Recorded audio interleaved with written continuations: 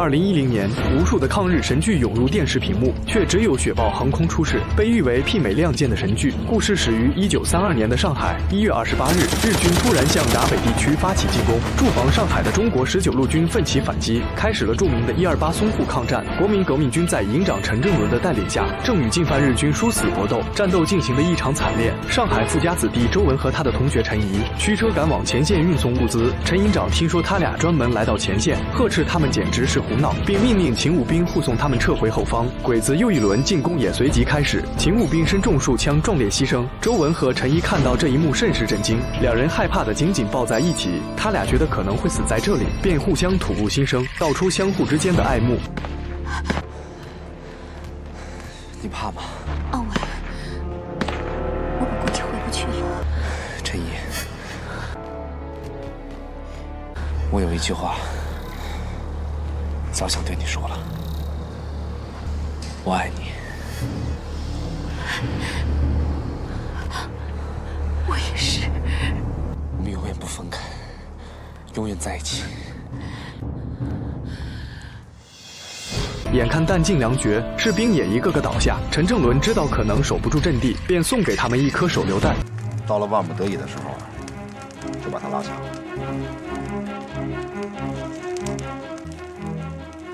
鬼子一步步逼近，陈营长命令大家上刺刀，准备和鬼子决一死战。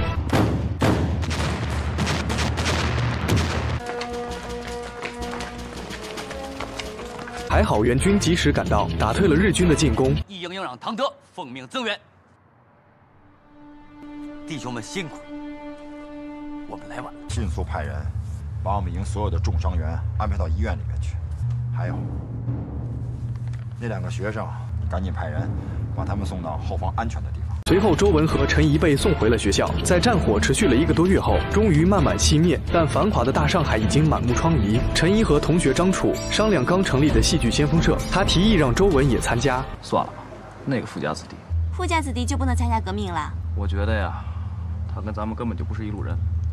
说话间，周文出现在他们面前，邀请陈怡共进晚餐。可陈怡却谎称晚上和张楚有事，以此拒绝了周文。陈营长带人来到学校门口，而他此行的目的是让周文的大哥刘远帮忙办一件大事。刘远和刘志辉是周文父亲的养子，三人从小一起长大，亲如兄弟。众人相约在西餐厅商谈，咱们都是好兄弟啊！来，来，老板，对不起，就有点事儿来晚了。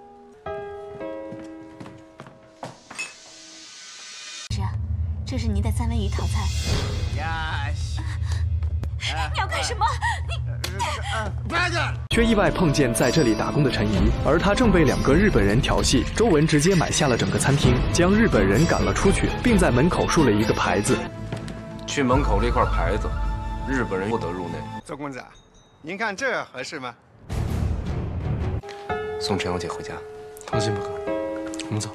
周文让小辉送走陈怡，回到座位后，刘三才告知此行的目的。原来他获知日本商会藏了一批烟土，为了避免毒害民众，计划将其全部焚毁。不过需要周文的大哥刘远配合。等我大哥安排好了，我会通知您的。拜托了。不久过后，在日本商社，上海警察局警长刘远以私藏枪支的名义带走了商社的日本人。卢三趁机烧毁了全部的烟土。另一边，两个日本浪人又盯上了陈怡，大街上竟然想把他掳走。得知消息的周文匆忙赶到，不顾危险冲了上去，结果也被日本人打得遍体鳞伤。幸好张楚带领同学们及时赶到，两名浪人见寡不敌众，这才退去。得知对方是北辰武馆的人，张楚号召大家去政府部门请愿抗议。周文知道这些根本不起作用，于是遣散了众人。身为周公馆的少爷，周文何时受过这么大的侮辱？况且对方还是日本人。周文回到周公馆，找出父亲的手枪，不顾一切的冲了出去。弟弟刘志辉见拦不住他，只得赶紧去找在警局当警长的大哥。周文提着手枪来到北辰武馆，面对阻拦，直接开枪击中了一人。的大腿，又打死了带头欺负陈怡的三浦。其他日本武士纷纷上前，双方对峙剑拔弩张。此时刘远带着一队警察赶来，轻而易举地带走了周文。在车上，刘远让周文赶紧回家，以躲避日本人的追杀。这时的北辰一刀流武馆里，小林发誓为自己的弟弟三浦报仇。周文慌慌张张地回到家，父亲一看就知道他一定闯祸了。周文知道隐瞒不了，便老实交代了事情的来龙去脉。周继先听后立刻就察觉了事情的严重性，让他明天赶紧回苏州老家躲避。其实正值双方停战和谈期间，这件事惊动了双方高层。国民政府迫于日本人的压力，下令一定要严办此案，尽快捉拿周文归案。而负责此次任务的曹营，却是我军打入国民党内部的卧底。我调查过，确实是日本人挑事在先，完全怪罪于那个学生。您知道他的父亲是谁吗？周继先。只要他爸爸不是日本人，你就去把他给我抓来。犬子就在书房，但我绝对不会看着你们把他带走。周老先生，实在是对不起。我只要还活着，你们就休想走进这房子半步。警察忌惮周继先的威望，也不敢硬闯周公馆，只能不了了之。他们怎么摊上这么一差事？此时的周文在和陈怡告别，两人紧紧拥抱在一起。你马上搬过来，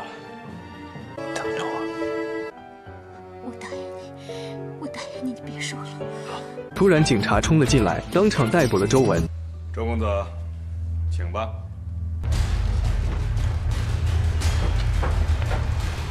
如果需要什么吃的喝的，尽管吩咐。我知道你真把我关起来，我死也不来呀！对不住，对不住了啊！曹颖找到大哥刘远，别动，到前面拐弯的地方停一下。两人真正的身份都是地下党员。曹颖是刘远的上线，将他下达了新的任务，要求他考入中央军校。刘远向他询问周文之事，曹颖也很是为难。刘远和智慧跪在周继先面前，恳请父亲搭救周文。周继先此时更是心急如焚。陈毅和张楚等同学游行请愿，要求释放无辜学生。这时的政府也被日本人威胁，限他们在三天之内必须处决周文。市长碍于两边的压力，甚是为难。周继先是早期同盟会成员，曾与中山先生共事。功成身就后隐退从商，在当时的政商两界都有很高的名望。他携重金找到市长，市长面对前辈却难以承诺。学生的请愿并没有让政府妥协，还被警察局长下令抓了起来。周文听到了同学们的呼喊声，我们到市政府去抗议，他们就把我们抓过来了。周文，你放心，他们只要一天不释放你，我们就一天不吃饭。我早就跟你说过，抗议是看不成什么事儿的。张楚，别这么干。市长得知学生被抓以后，大发雷霆，亲自去牢房释放了学生。从牢房出来的陈怡想到一个办法，去找陈营长来帮忙解救周文。陈营长得知消息后，当即决定带部下前去。可还没等到部队集结，便被早已埋伏的宪兵团团围住，所有的人都被缴了械。陈营长只能仰天长叹。第二天晚上，周文在日本人的监督下被蒙住头，来到警局的后院进行简短的宣判后，所有子弹都射向了周文。不久过后，警局后门一阵骚动，市长和几个警察押着一个蒙着头的人。原来他们用一个死刑犯代替了周文。大哥刘远开车偷偷接走了他。在半路，周文让刘远停车，他要去和陈怡做最后的告别。见面后，两人紧紧拥抱在一起。不过眼下形势紧迫，周文不得不离开。他送给陈怡一块玉作为信物。你把它留在你身边，就如同我在你身边一样。这个是我妈妈送给我的。我不允许任何人欺负你。你和萧伯父的女儿萧雅虽没见过面。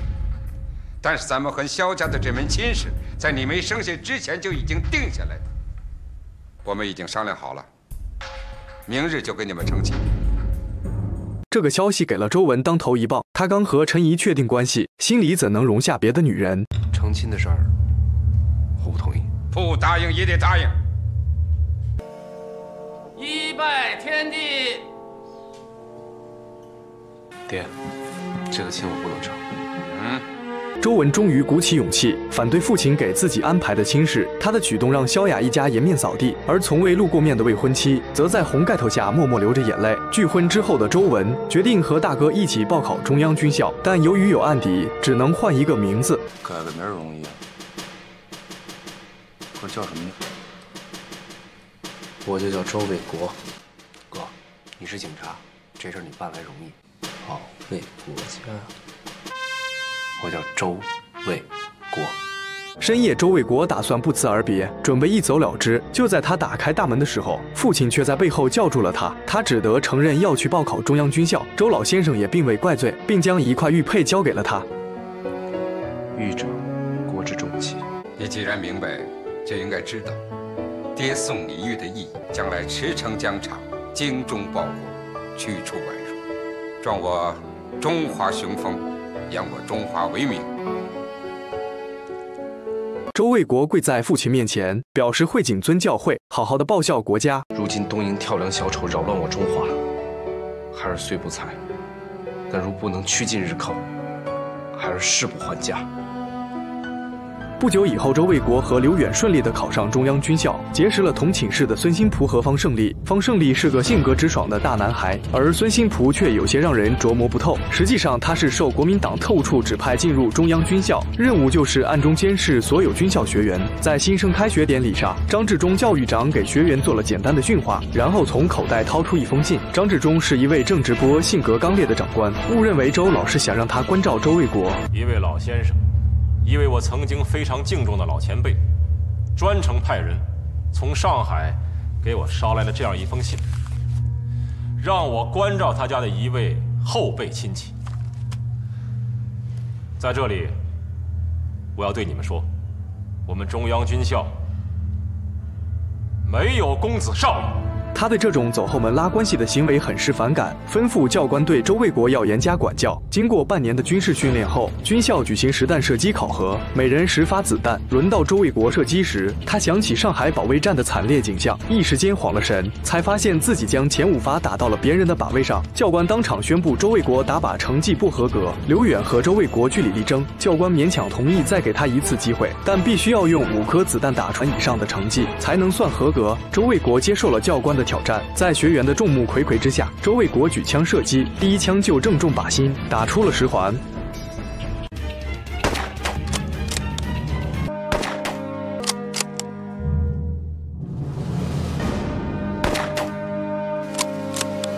就连教官也没想到，周卫国四枪都打出满环，同学们欢呼雀跃。按照教官的要求，他的射击成绩四十环已经及格。周卫国看了看远方，一枪直接打掉了山顶的信号旗杆，全场更是一片哗然。教官只得回去报告教育长张治中。听说周卫国枪法这么神，开始对他刮目相看。许久未收到周卫国的消息，陈怡也是十分挂念，便贸然来到周公馆打听他的下落。周家当然会严守秘密，陈怡只能失落而归。中央军校的寝室里，大家谈论时。时下的局势，搅来搅去，还是自己人打自己人。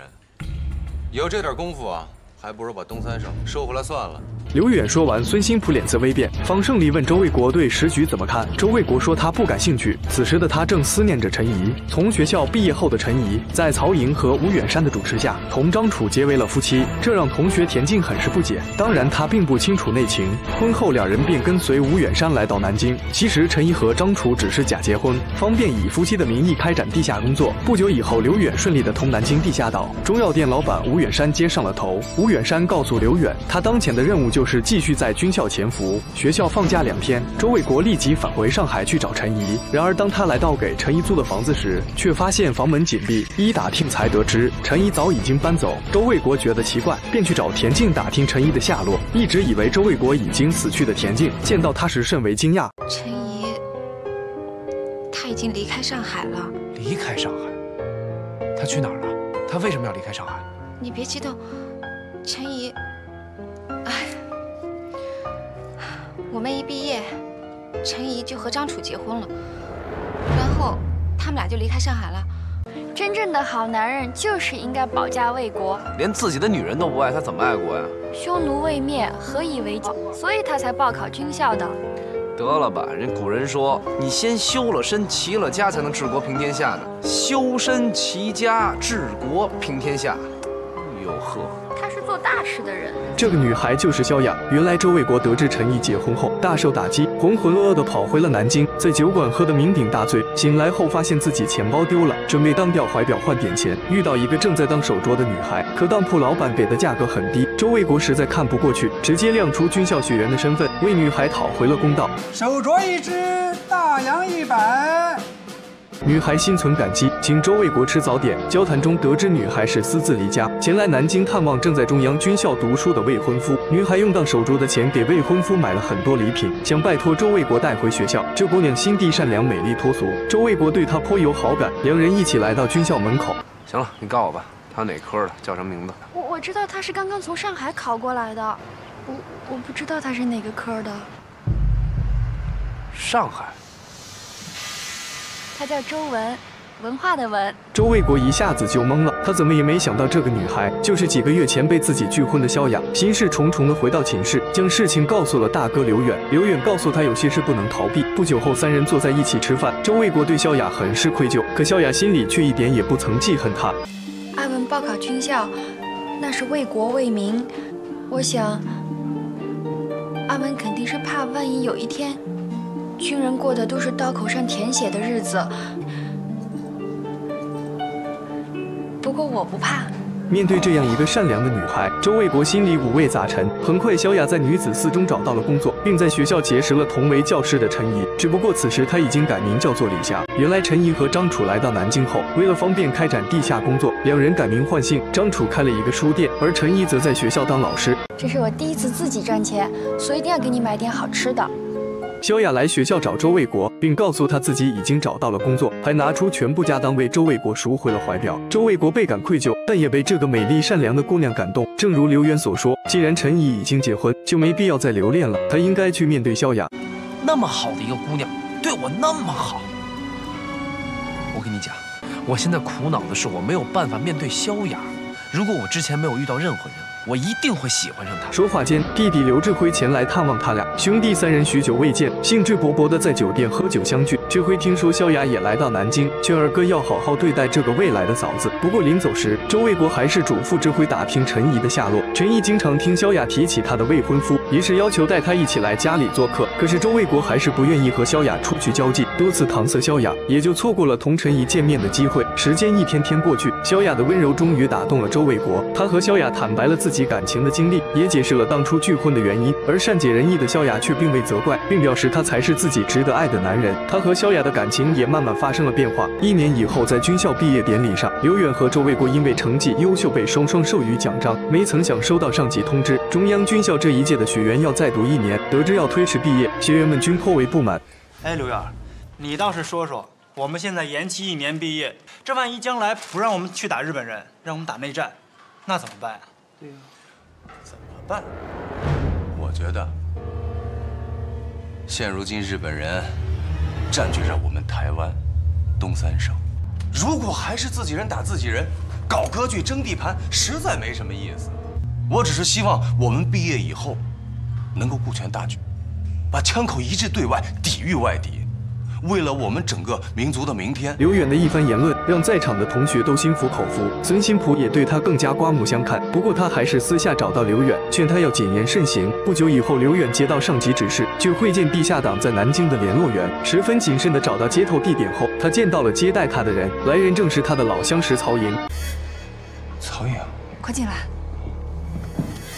曹英此次前来是有了新的任务，组织决定让刘远打入中统，并相约下次在新街口的干果店见面。特务处对孙新普提供的血缘监视报告颇为不满，指责他故意忽略刘远思想倾向问题。孙新普也意识到在军校内部一定还有和自己身份一样的特务，随后他就展开了对刘远的全面监视。不过他发现刘远异常后却并未告发。两人在干果店见面后，曹英告诉刘远，南京地下联络站被叛徒出卖，让他尽快通知其他人迅速转移。刘远还没来得及打入中统内。不就宣告失败。等吴远山接到通知赶到的时候，联络站已经被敌人捣毁。这一幕全部被孙兴普看到，并由此确认了刘远的身份。中统的特务迅速赶到军校，对刘远展开抓捕。正当他们要带走刘远时，教育长张志忠带着宪兵及时赶到，表示必须查明刘远身份再做决定，并将刘远暂时关押在学校宪兵队。此时的周卫国正和萧雅逛夫子庙，却在街口看见一张通缉告示，竟是悬赏捉拿江洋大盗刘三。周卫国不由得大惊。混在人群中的刘三也看到了卫国，只是。时没敢上前相认。周卫国回到宿舍，从方胜利口中得知刘远被捕的消息，几天内可能会被秘密枪决。周卫国暗暗发誓，不管付出怎样的代价，也要救出大哥。可宪兵队看守很是严密，周卫国暂时也无计可施。他突然想起了一个人，几经周折，周卫国终于找到了刘三，两人制定了周密的营救计划。第二天晚上，周卫国悄悄离开寝室，找到早已等待多时的刘三，两人穿着军校学生的衣服，潜入宪兵队，打倒守卫，很顺利就找到了刘远。巡逻的军警发现岗哨被袭，于是带人冲进了牢房，看到窗户被破坏，军警误以为他们已经逃走，于是又追了出去，三人却从屋顶跳了下来，随后就迅速逃出宪兵队。周卫国和刘远匆匆告别。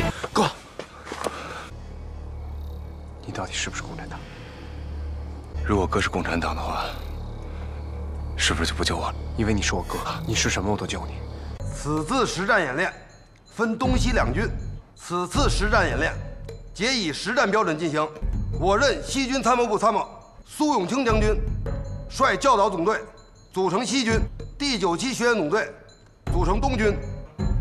大家听明白了吗？明白。中央军校第九期即将毕业，所有学员将面临最后一次考核，开展多兵种联合演习。周卫国担任东军突击队副队长，孙新普为正队长。他们率领小队秘密穿插到指定地点埋伏。周卫国用望远镜发现了敌军的一个基地，当即决定潜伏进指挥所，竟然偷到了一份敌军作战地图。通过对西军兵力配置的研判，决定改变作战策略，随即找到队长孙新普。我们的任务是在这潜伏，掩护大部队总攻。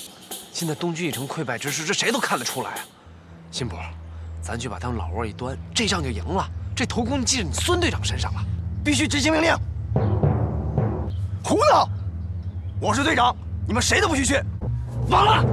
你们敢！辛苦队长，队长怎么绑了？突击队学员空前团结，顺利穿插到敌军营地，干掉岗哨后，一举冲进了指挥部，并宣布所有西军指挥官被捕。话音未落，一排子弹打在了周卫国等人脚下。周卫国怒斥质问为何使用实弹，这才看见对面竟然是一群将级以上的军官，为首的竟然是德国军事顾问冯赛克上将。一中国军官斥责周卫国违反演习规定，私自越过到对方地盘，并下令对周卫国等人进行缴械。还好冯赛克上将及时阻拦，老冯用德语。问他们是否服气，身边的一官还未来得及翻译，周卫国直接用很流利的德语回答了问题。冯赛克最终知道了事情的原委，他非常赏识周卫国的军事素质。随后，将军宣布周卫国所在的东军获得演习的胜利。演习过后，周卫国便亲自向孙新普道歉。孙新普倒也不是小肚鸡肠之人，并未将绑架之事放在心上。不久，德军上将亲自来到学校，邀请周卫国去德国军校深造。周卫国只得答应。来到女子寺中找到萧雅，两人不得不再次推迟婚期。萧雅虽然很难受。但还是理解周卫国的决定。这么不相信我，你担心你一走就会嫁人吗？我只是觉得这样对你太不公平了。我爱你，我就应该为你着想，没有什么不公平的。卫国，我的阿土是这个世界上最顶天立地的男子汉大丈夫，最好的男人。我要你这样抱着我一辈子。我要下辈子。下下辈子，都这么抱着你，一辈子哪够啊？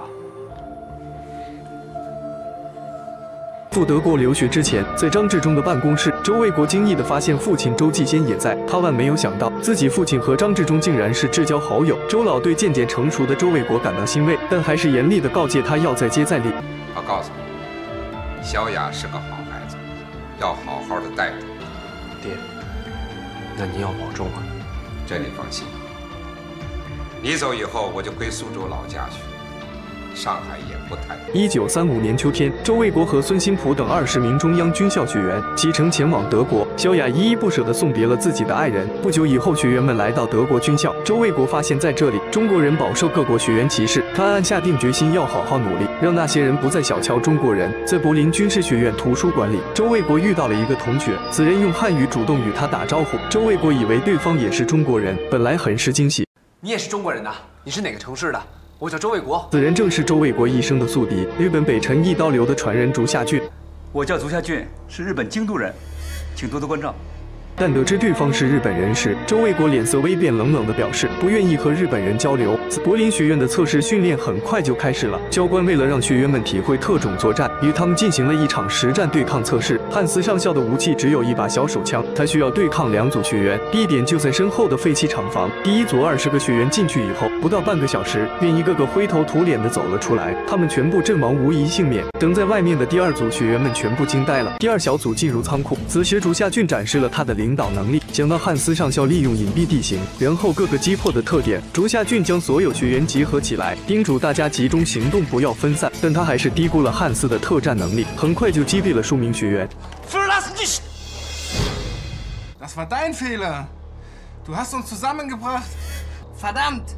Deine Scheißstrategie! Das lässt uns noch schneller verlieren, damit er uns auf einmal angreifen kann. Wir verteilt sind, sind wir noch einfache Beute für den Feind. Wir entscheiden selbst, wo wir hingehen. Auf geht's!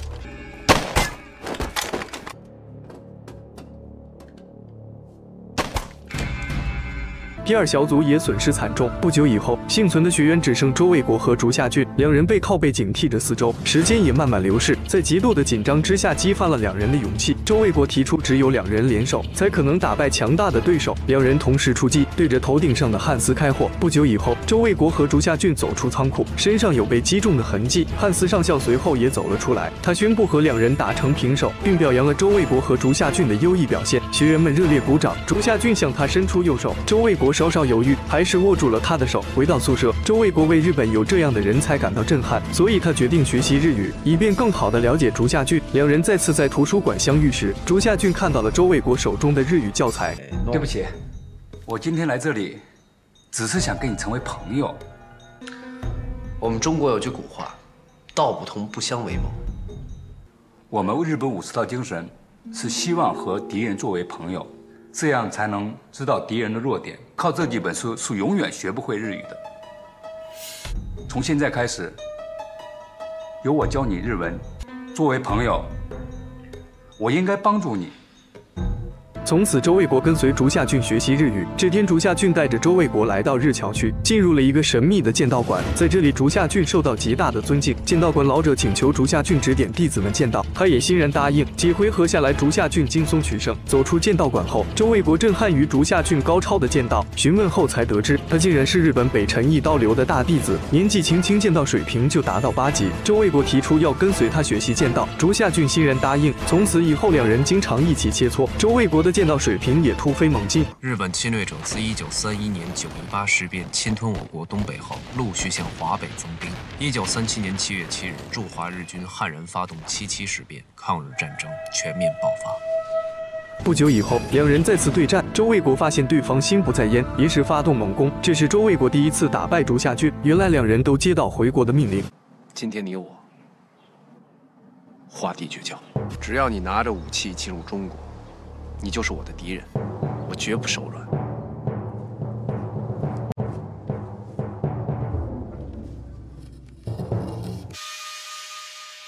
助かれこれるの。私は日本が負けてほしい。全く夢の話だ。なぜだ？日本が中国を降伏したいというのは、中国はぐっすり寝ている。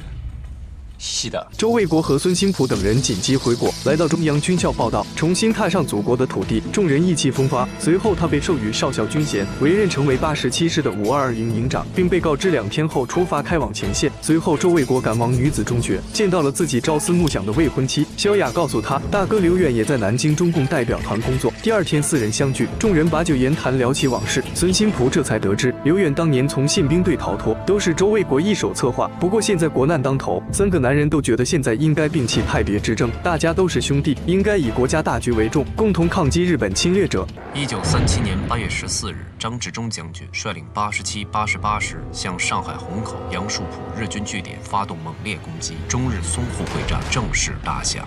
周卫国随同大军开赴淞沪前线，随即就投入战斗。眼见敌人炮火猛烈，周卫国灵活指挥六二连发动佯攻，吸引敌方火力，而自己带一个排的兄弟伪装成日军，准备潜入到鬼子背后。摧毁他们的迫击炮阵地。周卫国穿着日军军服，大摇大摆地走进敌方控制的大楼，流利的日语让他很快就骗过门口的守卫。来到顶楼，没想到还有两个哨兵。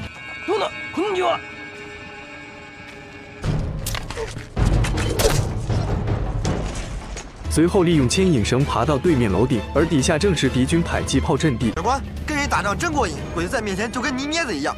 鬼子又不是神，他们也是人呢。周卫国带领一个排的兄弟，偷偷绕到鬼子身后，一举打掉了他们的迫击炮阵地。四门炮不用试射，对准日军阵地，施发急速射。是。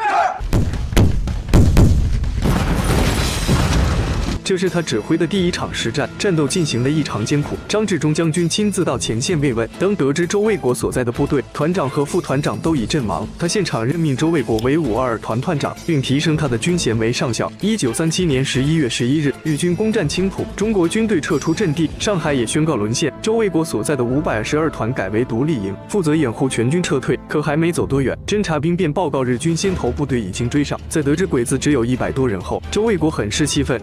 一百多个人追着我们十万个人跑，他妈，今天他妈吃不掉这一百鬼子，谁都别想活出去！是。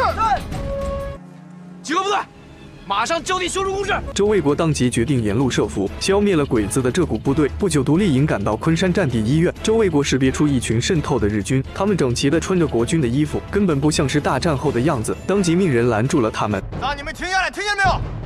快点停下来！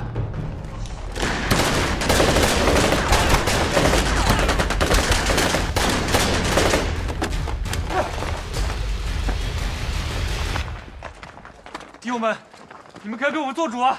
他们仗着他们是中央军，欺负我们地方军啊！兄弟们，别激动啊！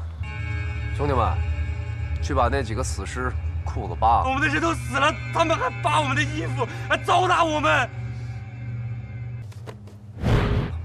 兄弟们，他们欺人太甚了！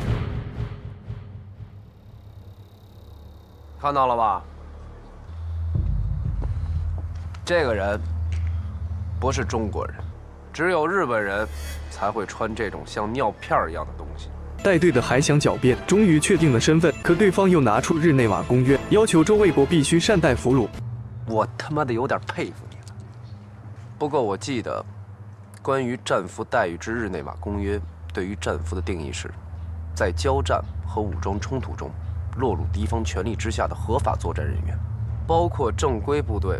和游击部队的作战武装人员，可是你们穿着我们的作战服和我们交战，应该不算是合法的作战人员吧？周卫国奉命前往南京报道，途经苏州老家时，碰见正在劳军的父亲周继先，父子俩在战火中重逢，两人均是感慨万千。可周卫国有军务在身，不能在此久留。临走前，周继先留给他一幅血书：“为父在这等了你这么多天，终于把你等到了，把这个交给你。”我也就没什么遗憾。志辉也考上中央军校了，儿啊，一定要记住，个人得失荣辱比着国家利益那是微不足道。孩儿谨记爹的教导，记住，倭寇趋近日，我儿还家时。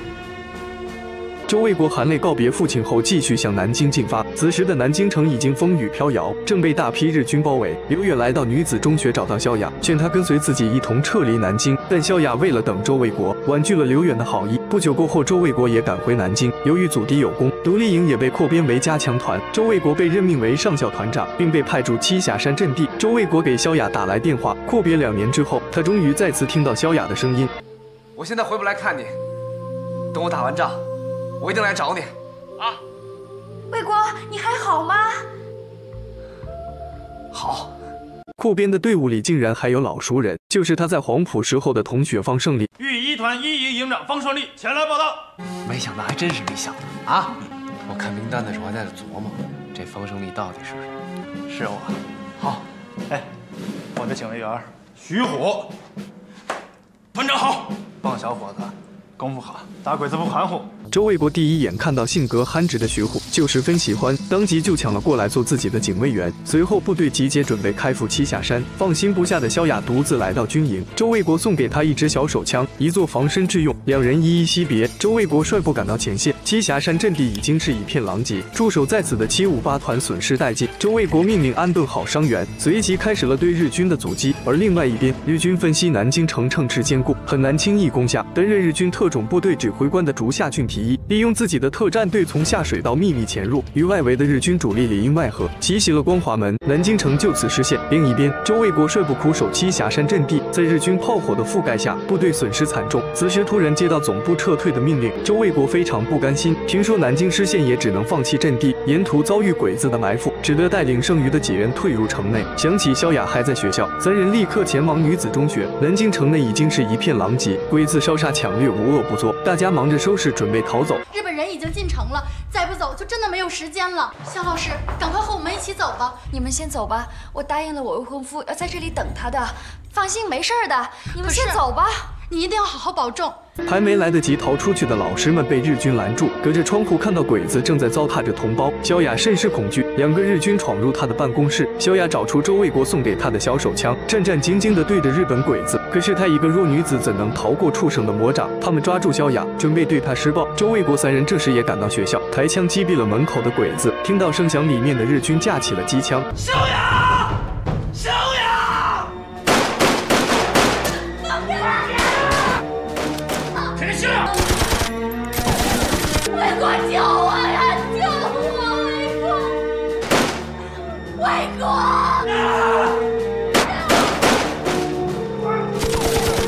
魏！国疯了一般想冲过去，被方胜利拼命拉住，外面的敌人也越来越多。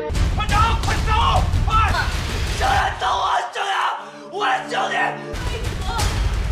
你快走，你别管我！萧雅此时明白，如果再这样下去，周卫国也会葬身如此。捡起周卫国送给他的手枪，毫不犹豫扣动了扳机。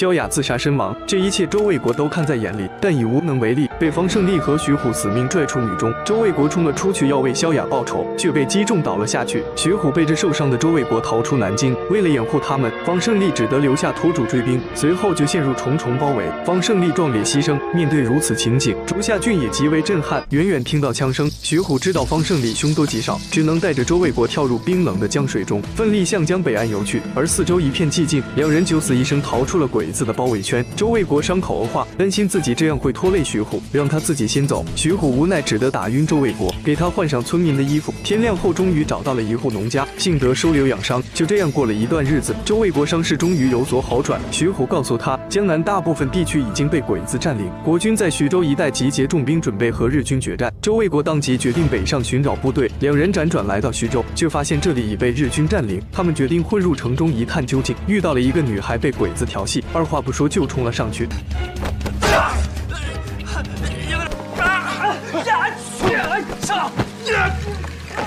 解决了两个日军，救出女孩，却引来了鬼子的巡逻兵，三人只得撤退。危急关头，有人出手将三人救下，而此人竟然是和周卫国阔别许久的刘远。经过这一番打斗，原本就很虚弱的周卫国旧伤复发，看到大哥后就昏倒在地。刘远此次的任务是负责护送爱国青年去八路军虎头山根据地参加革命。周卫国救下的女孩叫范小雨，是随队的医生。看着病重不醒的周卫国，刘远决定带他去虎头山根据地治疗。可八路军班长赵杰坚决反对，他表示不知二人底细。万一情报泄露，后果不堪设想。在刘远一再坚持和范小雨的劝说下，赵杰才勉强同意。第二天，小分队出发，众人昼伏夜出，艰险地跨越了敌人数道封锁线。范小雨感激周卫国的救命之恩，一路上细心照料，周卫国的病情也慢慢好转。在一处陡峭的山梁前，担架没法抬过去，徐虎决定自己背着周卫国赶路。就在这时，侦察兵报告说山下发现一股日军。情绪一直低落的周卫国突然眼露凶光，精神大振。随后，众人来到山顶，果然发现鬼子正向他们搜索而来。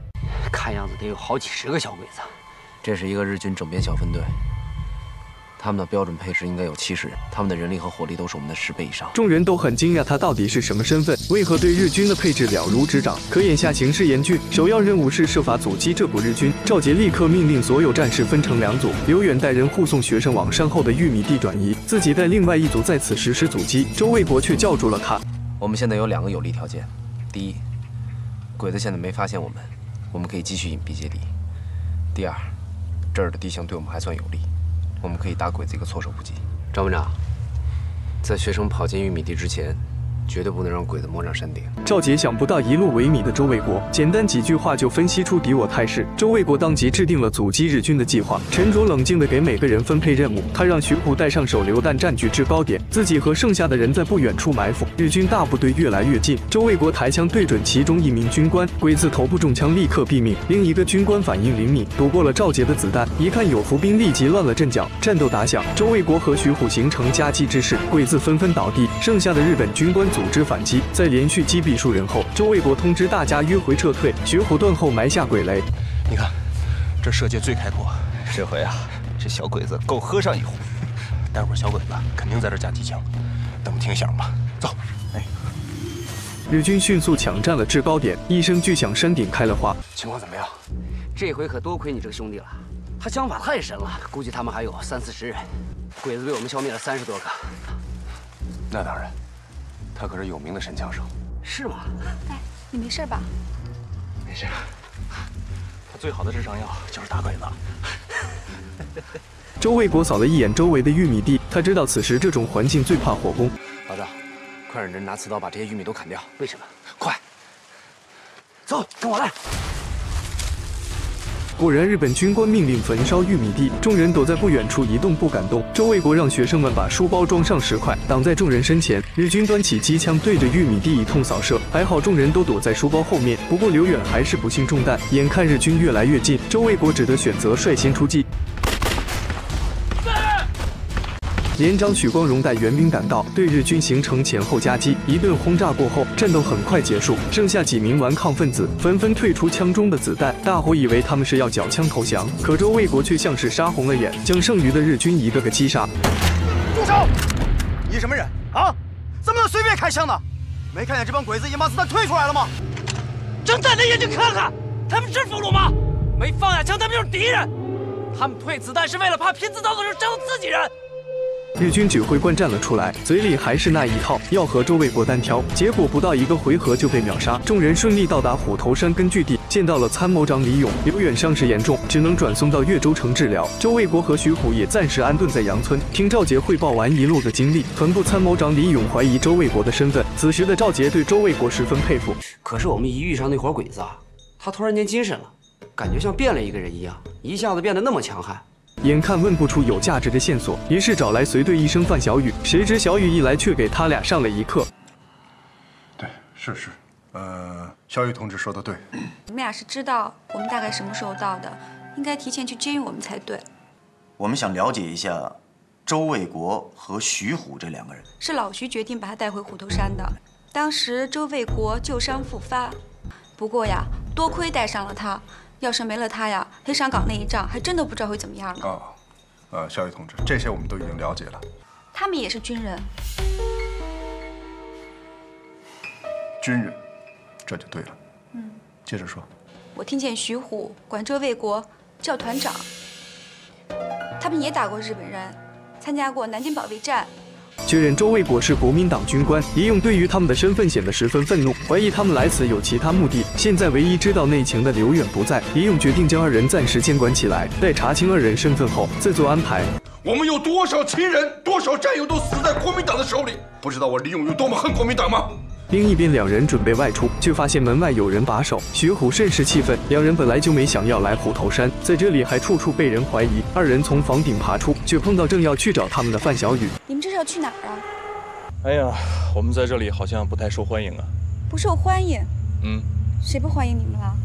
要是欢迎的话，干嘛找两个人把我们看押起来？看押你们？嗯。老子替你们打鬼子，救你们的命，就这么对老子？范大夫。你还是让我们俩走吧。了解完内情后，小雨决定亲自送他们离开。当李勇得知周卫国逃跑后，担心二人会将军情外泄，于是立刻带人前去追击。周卫国两人刚逃出虎头山，又碰到鬼子抓壮丁。本来计划趁鬼子不备夺枪跑路，没曾想杀出一群绿林好汉。完事后将日军的装备抢劫一空，临走前还给每人发银元当路费。团长，这他娘的唱的哪出啊？咱俩还唠两块。周卫国看这老大有点意思，决定留下来打鬼子。当天晚上，两人就摸上清风寨，不费吹灰之力将清风寨四大金刚制服。从睡梦中惊醒的朱子明看到两个陌生人坐在自己房间大吃大喝，顿时惊讶不已。来人，来人呐！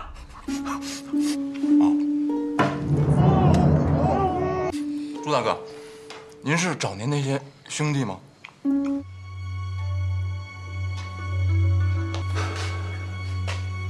八百深夜造访是有何贵干？那个朱大哥，呃，这位是我老大。其实今天我们来就是投奔您的，略展身手，多有冒犯。呃，朱子明十分佩服周卫国的身手，当晚就召集所有人宣布，让周卫国当清风寨的二当家。四大金刚很是不服气，要挑战周卫国。当然，这种事一般都是徐虎出面。少啰嗦，四个一块上。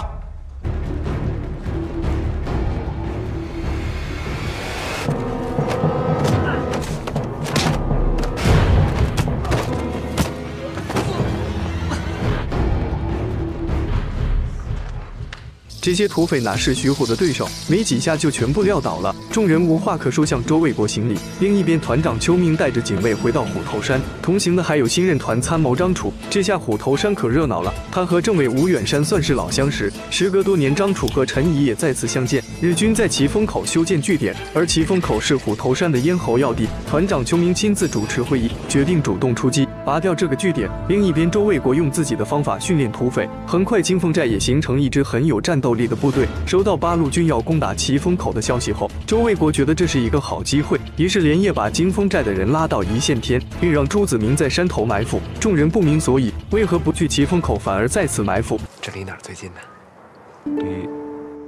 离离莱阳县城近呢，可离奇峰口可就远了去了。是啊，八路在奇峰口打，咱们这儿离鬼子的莱阳指挥部最近。七风口一旦有什么失误，鬼子一定会派兵增援，我们就躲在这儿，打他们一个措手不及。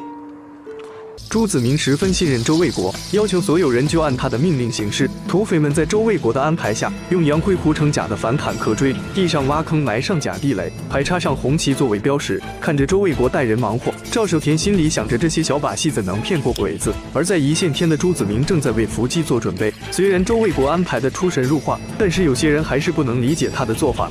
咱要忙活半天，鬼子不来，不白忙活了吗？鬼子他能走这个地方吗？是啊，大哥。你看看这个地儿，这就这一条路啊，那一看就像有埋伏的地方。你再看看，啊，这两边这都是高山呢。哎，我觉得二当家的这么能打仗，说不准真能把鬼子引到这儿来呢。那鬼子能有那么傻吗？嗯，这个真不好说。八路军全力攻打奇峰口据点，日军龟缩在炮楼内，并及时呼叫莱阳县支援。今すぐ通車でどこ だ奇峰口は八六に。为了阻击鬼子的援军，许光荣和张楚在半路上设伏。果然，莱阳县的援军出动，日伪军二百多人和一辆坦克沿着大路火速开来，没多久就遇到周卫国的地雷阵。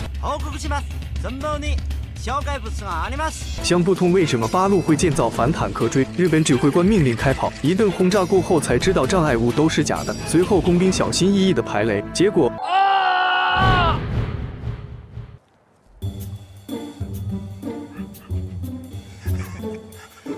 報告します。地雷はすべて偽物でした。指挥长明白这是要拖延他们的救援时间，于是再次上车全速前进。没想到刚开没多久就触发了地雷，坦克的履带被破坏，鬼子想尽办法也没接好。バカ！戦車の車輪が直らないのか。報告します。地雷が多くて。 短時間で取り除くことはできません。眼看前方战事紧急，无奈之下只能放弃坦克，改走小路继续朝奇峰口行进。鬼子的大部队刚走远，周卫国就带人突然发动袭击，解决了留守装甲车的日军。他让徐虎拆掉一个轮子，再装上履带。而埋伏在一线天的金峰寨好汉，此时心里都在打鼓。大哥，要不咱们回去吧？这鬼子还不来，会不会？大哥，来了。 战！ 炸弹一响，一块巨石从天而降，挡住前方去路。紧接着峡谷中就炸开了花，金峰寨的好汉居高临下，鬼子就像瓮中的王八一样，一时间死伤无数。身后日军的装甲车赶到，鬼子还以为是救兵，可炮声一响就蒙圈了，原来是周卫国驾驶的坦克。三浦君君は本当の勇士だ君に爆薬を与えやる少佐私やらせてください彼を援護しろ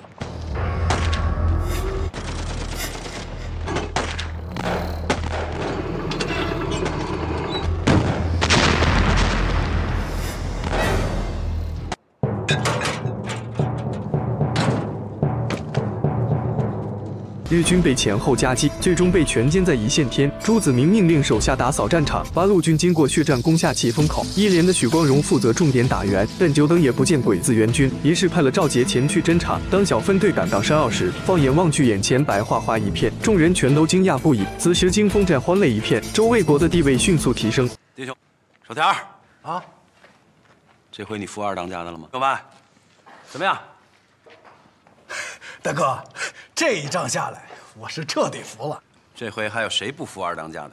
日本旅团长近卫文接到消息，大为震怒，立即赶到一线天。因为在偷袭的日军中，为首的军官就是他的侄子。近卫文发誓一定要为他报仇。虎头山正在举行庆功宴，邱明认为之所以能全歼奇峰口日军，是许光荣阻击了莱阳方向的援军，当属头功。等一等，其实这次打援，我们连鬼子影都没有看见，这个功我们不能要。为什么？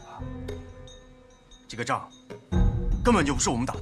众人都疑惑一线天的阻击战到底是何人所为，日军也不例外。他们知道八路主力在攻打奇峰口，不太可能还有那么多兵力埋伏在一线天，推测可能是国军的大部队所为。而在虎头山的周卫国却愁眉紧锁，四大金刚都觉得跟着他打仗很过瘾，就想问他最近有没有其他计划。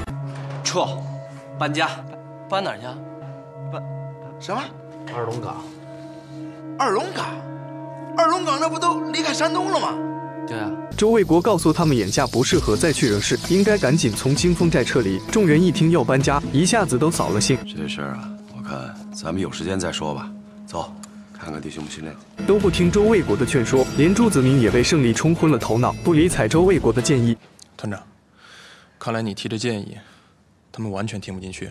不久过后，一伙村民拉着马车正赶往虎头山，这是连日来乡亲们凑给八路军的军粮。可是没想到半路被金峰寨的土匪打劫，两车粮食被抢走。负责接应的赵杰迅速带人追上，双方剑拔弩张，眼看就要发生冲突。哈 哎呀，算了算了，看在你们都是抗日的队伍，前些日子听说了吧？鬼子的一个中队在一线天被歼了，那是我们清风寨干的。什么？自从我们二当家的来了之后，别说是鬼子的一个中队，我们也不放在眼里。邱团长得知是周卫国带领金峰寨的好汉在一线天阻击了日军，爱财如命的他将李勇和许光荣狠批一顿。知道周卫国这样的指挥人才实属难得，当即想吸收他加入八路军，于是安排许光荣、陈怡和范小雨亲自前往金峰寨。没想到刚一见面就被周卫国下令绑了起来。许连长，久违了。阿文，周大哥。陈毅看到眼前的这个男人，竟然是自己苦苦找寻多年的周文，众人也摸不着头脑，惊讶不已。其实周卫国心里也百感交集，他认为陈毅和张楚已经结婚，只能背过身去，不想让人看到他一脸的悲伤。李武得知八路军曾经难为过二当家，当即就要扣押他们，可周卫国满眼泪花，下令放他们回虎头山。对，你刚到虎头山的时候，因为我敬重你是个打鬼子的英雄，当初在虎头山。我违反军纪送你走，周卫国，我看错你了。我们是做过一些错误的决定。今天为什么许连长亲自带我们来？你知道为什么吗？就是为了当面向你表明，我们八路军不仅是一支抗日的队伍。而且还是一只知错就改的仁义之士。三人无功而返，许光荣是一脸的愤怒。球明并未责怪他们，决定自己亲自去拜访。凭女人的直觉，范小雨觉得陈怡和周卫国关系不一般，陈怡只得解释说是同学关系。此时的周卫国也同样无法入眠。陈怡的出现勾起了他无数的回忆。赵守田和李武跟他开玩笑，结果被轰了出去。日军查到伏击他们援军的是金峰寨，金卫文即刻下令对金峰寨展开围剿。日军连夜出发，将山寨团团围住。众人知道想逃出去是不太可。 可能，打算与死网破死拼到底。但周卫国其实早有准备，他知道鬼子一定会来围剿金峰寨，事先已经和徐虎对周边的地形做了勘察。他命令所有人换上日军的军服，乘着黑夜出了金峰寨。没多久就遇到鬼子的搜查队伍。周卫国沉着冷静，凭借流利的日语顺利过关。報告します。捜索完了いたしました。敵は一人もいません。大事に保育のは就職させろ。はい。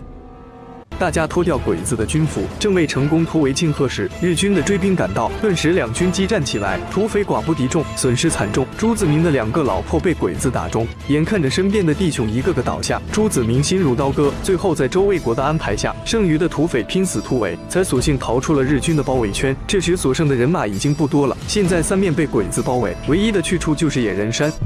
这野人山方圆几十里没有人烟。那连最有经验的老猎户呢都不敢进去。山上有瘴气，这山谷里是沼泽，这不行啊！二当家的，那你还有别的可去的地方吗？通过观察周边的地形，周卫国发现此处适合埋伏，只要偷掉敌人的小队，就能补充弹药和食物。于是赶紧指挥众人占据有利位置。鬼子的追击部队果然紧随其后。周卫国带领大家埋伏在两边的制高点，对方丝毫没有察觉。一声令下，地雷被拉响，日军被打了个措手不及。面对两面夹击，鬼子没有丝毫还手余地，战斗很快就结束。大火洗劫了鬼子的粮食和弹药，继续撤退。不久以后，禁卫文得知消息，当即下令重兵围剿野人山，而虎头山这边。刘远上谕归来，得知周卫国被困，焦急万分，带领赵杰的一排前去寻找。不想刚进山就遇到两个鬼子便衣队，他们伪装成当地猎人，便衣将刘远他们带进了日军的埋伏圈。顿时枪声四起，一排的战士损失惨重，眼看就要全军覆灭。危急时刻，周卫国带人赶来，从后方发动攻击。虎子，打了机枪，是。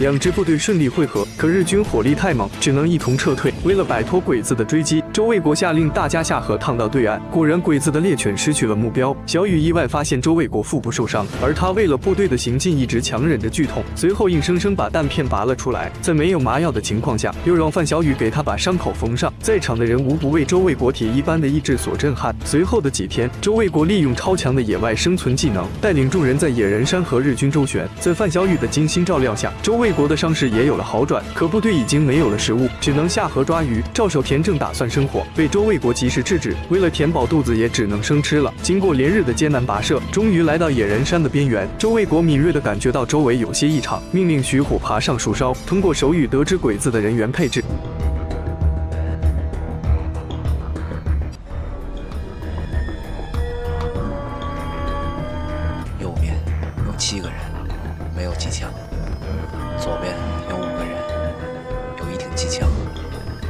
于是安排大家分头行动，赵守田率先开火。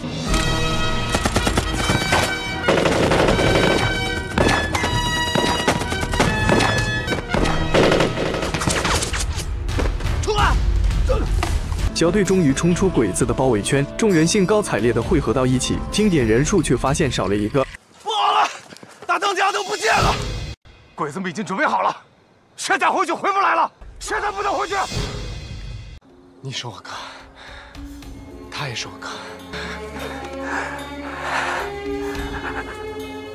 我必须救他。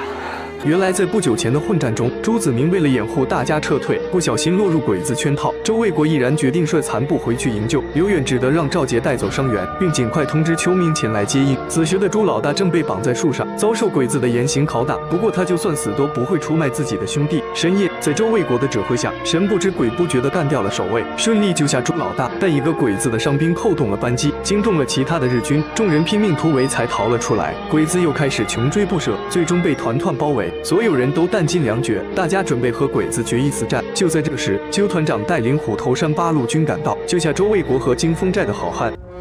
你就是周卫国，周二当家的吧？国民革命军第八十七师御医团团长周卫国，虎头山独立团团长邱明，国民革命军第十八集团军第幺幺五师。众人也随着八路军回到虎头山。邱团长亲自为大伙接风洗尘。陈毅和张楚很是激动，毕竟他们和周卫国是老同学。可反观周卫国却显得很是冷淡。我就很疑惑陈毅是怎么想的，为何不将他和张楚假结婚的事说出来呢？朱大当家倒是识趣，端起一碗酒就要敬范小雨。请八路军放过假。干嘛要敬我呀？你救了我兄弟，我当然得敬你。酒过三巡，政委建议金峰寨好汉留下来参加八路军，可朱子明有些话却难以开口。实话跟你说吧，我是担心留在八路军这儿，我给八路军添麻烦的。添什么麻烦呀？我们这帮弟兄无拘无束惯了，留下来一块打鬼子不好吗？我是担心弟兄们和我过不了八路军这份苦日子。哎，我看不如这样啊，你们来去自由，来，自由来，走，自由走。面对邱团长的诚意满满，朱子明也无话可说，最终决定留在虎头山。刘源要回南京敌战区执行任务，临行前他将周卫国托付给小雨照顾，范小雨欣然答应。刘源走后，邱明将清风寨的队伍编成一个排，隶属于许光荣的三连，朱子明当排长，周卫国任副排长，并为他们补充了一些新兵。而这些新兵中有个刺头叫杨大力，膀大腰圆，一身力气，在山里练过一些拳脚，是远近闻名的狠角色，连老兵都不放在眼里。朱子明上任的第一天，杨大力便在队伍里捣乱。既然咱们俩都是老大，凭什么你当排长？凭什么？就凭他本事比你大。他本事比我大，咱们俩比划比划，你先赢了我再说。你这小副排长的位置我还不稀罕呢。你要是赢得了我，我大哥这排长就让你做。好小子，哼！如果今天我把他打趴下，这排长就让我来当。这个黄埔军校毕业的高材生，在虎头山却只能当个副排长。更有意思的是，刚来就被杨大力挑衅。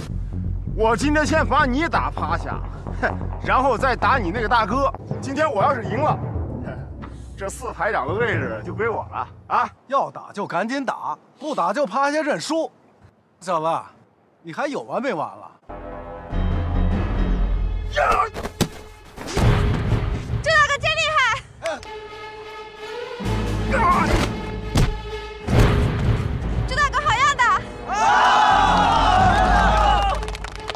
起来吧。杨大力倒在地上不敢起来，众人都嘲笑他装孙子。杨大力还是不服，要和周卫国比跑步。他认为自己是山里长大的，一定能跑过周卫国。比赛再一次开始，杨大力率先出发，周卫国不紧不慢地跟了上去，很快就超过对手，而且越跑越快，一口气跑到山顶，站在群山之巅。周卫国想起死去的萧雅，仰天长啸。众人不解周卫国喊的是谁，只有徐虎知道他一定是想萧雅了。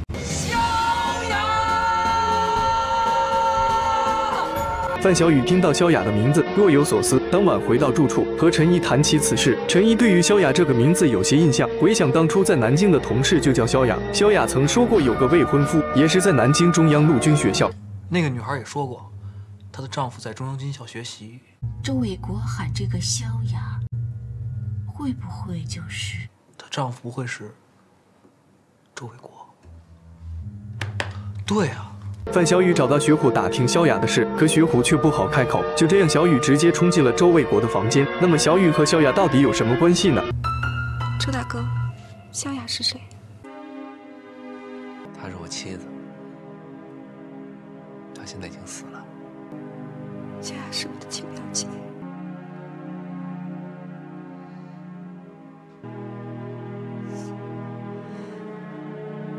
上集杨大力被周卫国胖揍，现在又要挑战徐虎，毫无意外，他怎么可能是徐虎的对手？原来这是周卫国对他们进行特种作战训练。赵杰看到后觉得十分新奇，也请求加入特训队伍。转眼三个月过去了，团长和政委要去军部开会，临走时叮嘱李勇要照顾新来的同志。可清风寨好汉实在是自由散漫惯了，过不了八路的清苦日子。弟兄们的意思啊，还是想撤。我跟弟兄们合计了，咱们那些弟兄都是野惯的人了。可是八路这规矩太多了，要是让他们玩命打鬼子，那肯定没问题。按点睡，按点起，这你也知道。还，不让逛腰子，这哪行啊？这不，所以过来和你商量商量。周卫国当然清楚他们的秉性，不过他表示自己要留下打鬼子。众人一合计，总不能让二当家单独留在这里，决定留下赵守田三人跟随二当家。当天深夜，周卫国送朱老大一伙人偷偷溜出驻地。第二天一大早，许光荣发现朱子明的部队不见踪影，李勇大为愤怒。周卫国直言是自己放走金峰寨的好汉。我们这些人来去自由，怎么了？我来的时候，邱团长说了，我有什么错啊？李勇原本就对他国民党的身份耿耿于怀，张楚也跟着添油加醋。周卫国毫不示弱，孙子，说什么呢？如果朱子明投敌，你的性质比他更恶劣。他们虽然离开了八路军，但他们仍然是一支抗日武装军。我相信朱子明和他清风寨的好汉们。现在我们要处理的是周卫国，枪毙我？吹呢！老子的命是打鬼子，不是你说要就要的。把我关起来，关你是关不住我。敢问李参谋长，想怎么处理我呀？陈毅看势头不对，赶紧劝住双方。我建议，等团长、政委回来以后再做处理。这件事情暂不做处理。那好。回到宿舍的众人喝着闷酒，此时他们心灰意冷，决定离开虎头山。就在此时，范小雨闯进屋里。自从知道萧雅是自己的表姐后，他对周卫国更为关注。邱团长明天就回来了，你就是要走，你也等他回来了，当面跟他道别再走。到那个时候，我绝对不会留你的。陈毅得知周卫国要离开，连夜骑马去军区找团长和政委。而另一边，朱子明还没离开虎头山，却意外在半路碰见了邱明。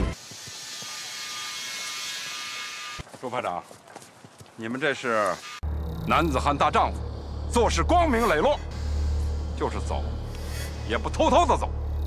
你们来，我们欢迎；你们走，我们八路军。更要真心的送。随后，朱子明一行人再次回到虎头山，可以打听，却发现周卫国和徐虎竟然不在驻地。原来周卫国等了一晚上，也不见陈怡从军区回来，就带着徐虎来到鬼子据点。果然看见陈怡准备骑马冲岗，于是帮他阻击了拦截的日伪军。陈怡得以脱身返回团部。虎头山众人焦急万分，朱老大更是自责不已。不久，周卫国和徐虎终于回到驻地，还带回几个伪军。原来他俩在救了陈怡后，顺便把鬼子的据点也给端了。众人目瞪口呆，都不敢相信，就凭他们两个也敢打鬼子的据点？李勇对周卫国也刮目相看，这小子还真有眼色。随后，独立团设宴给朱子明进行。邱团长，这我借八路军的酒，敬您一碗。干！我周卫国以前对你有点想法，不过说实在话，我也不好。嗯，不好，心胸狭窄了。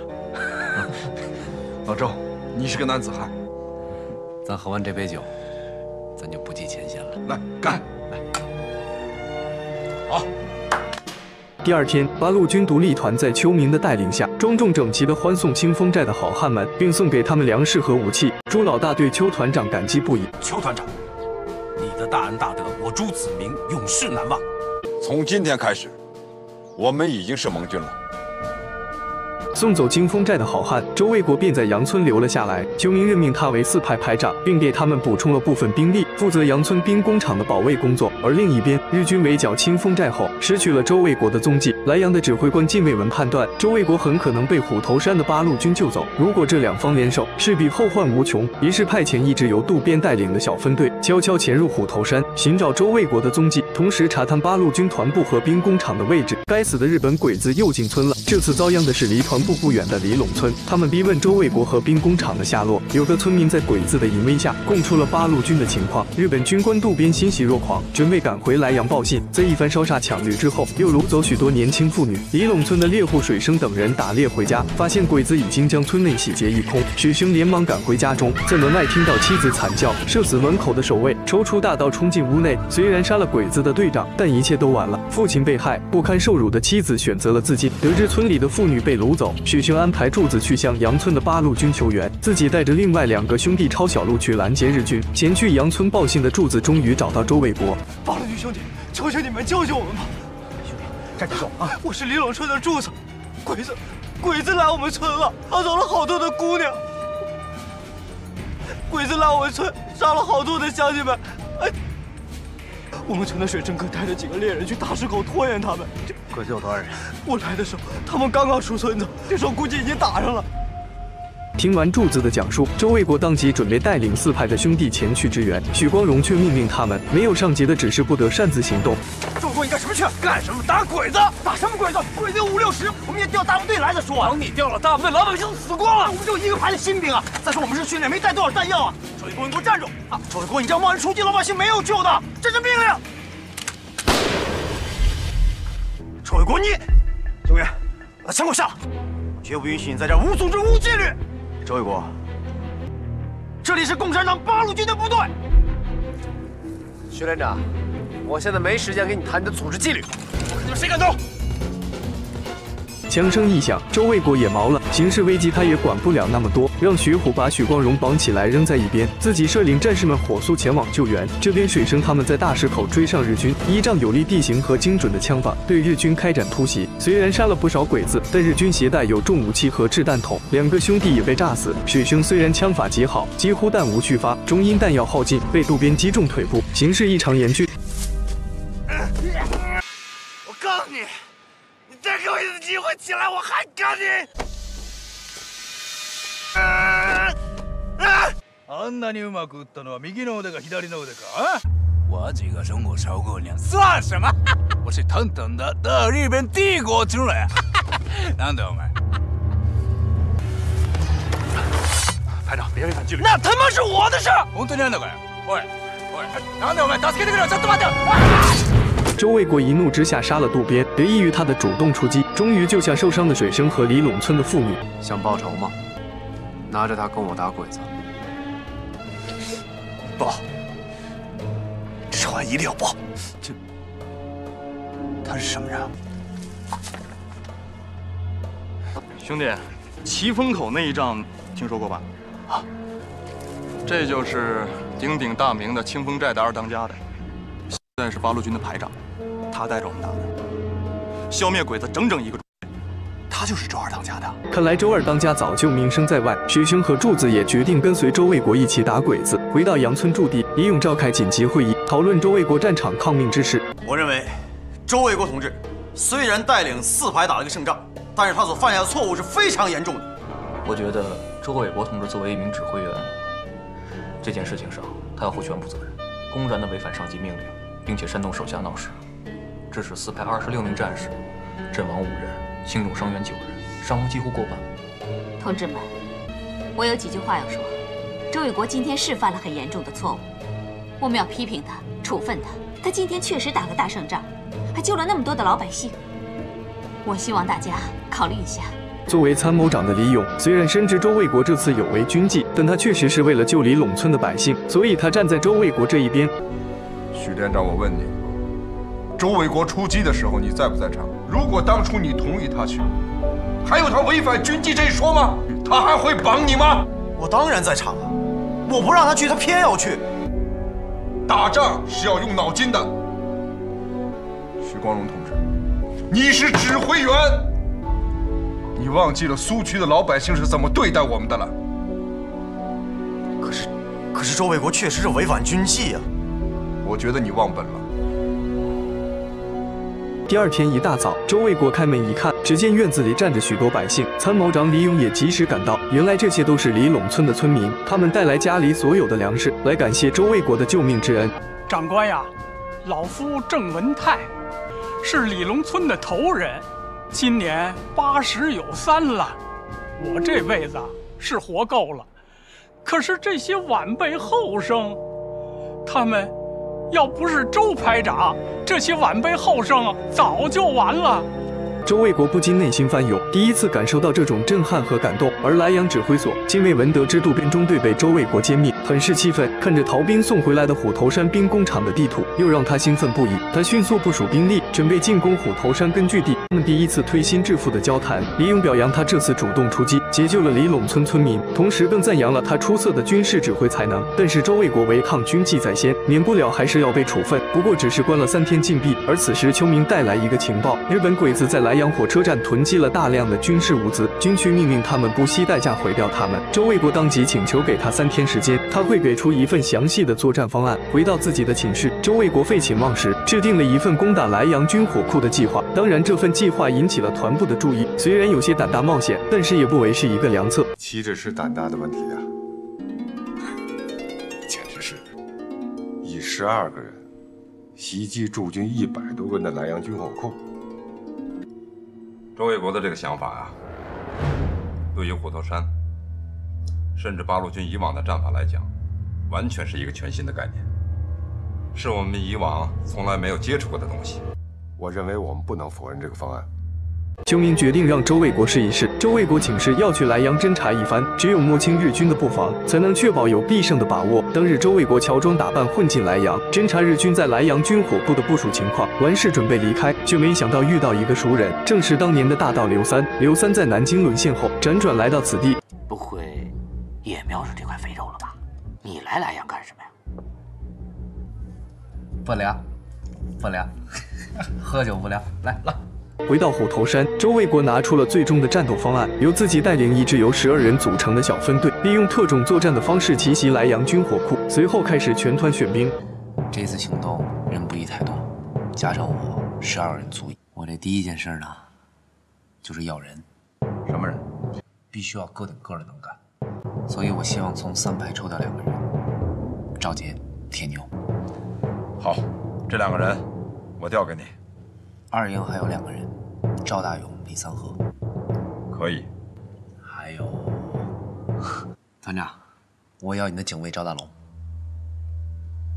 周卫国抓紧时间训练队员们的特种作战技能，同时让张楚帮忙制作定时炸弹。一切准备就绪后，周卫国带着他的特战队出发。那么他们是否能顺利完成任务呢？不久前，周卫国的小分队顺利前进莱阳，从两个日本军官的对话中，顺利得到互相验证身份的口令。同时，在莱阳城的外围，八路军主力为了配合周卫国的行动，向鬼子的各个据点发动猛烈攻击。猛烈的炮火声惊动了金卫文，他立即调集莱阳的兵力前去增援，这样军火库附近的守卫便减少。许多得到口令后，在周卫国的带领下，特战队员们顺利通过鬼子的关口，进入日军的物资弹药库。大家分头去安放定时炸弹。看着满箱的物资装备，杨大力眼馋不已。就他，听我的，咱们只拿一挺歪把子，带够弹药，其他的都放这儿。哎呀，排长，我这不是农民出身吗？啊，都放这儿。哎，排长，这么多军火，咱搬到虎头山不是挺好吗？我们搬不走，也不能留给鬼子。全炸了！都炸了，那。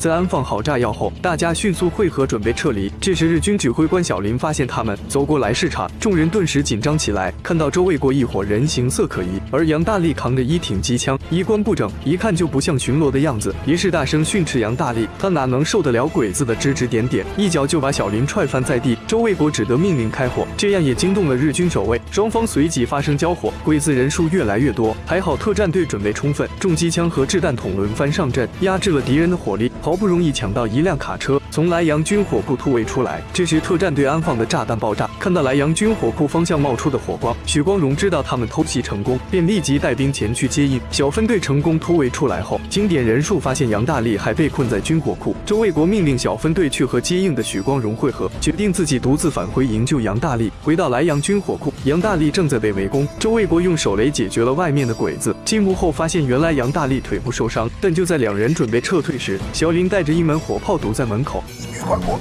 你自己想办法出去，排长。看来今天再不是逃不出去了。废他妈什么话！走到外面去，走。大火持ってこい，早くしろ。里边的人听好，如果再不投降，我们就开炮了。你们只剩最 天咱们俩。是要死在一起了，怕了。咱今天打了这么多鬼子，够本了。准备好了吗？准备好了，兄弟。能跟你死在一块儿，正好。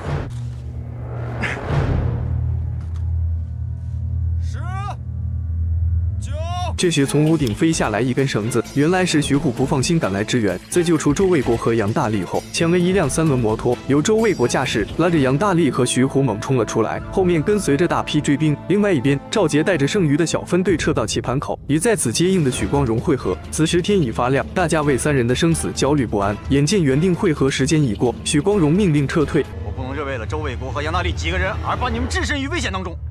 听我的命令，撤退！哎，连长，撤退！你姓许的，敢把二当家的扔下，我跟你没完！放开他！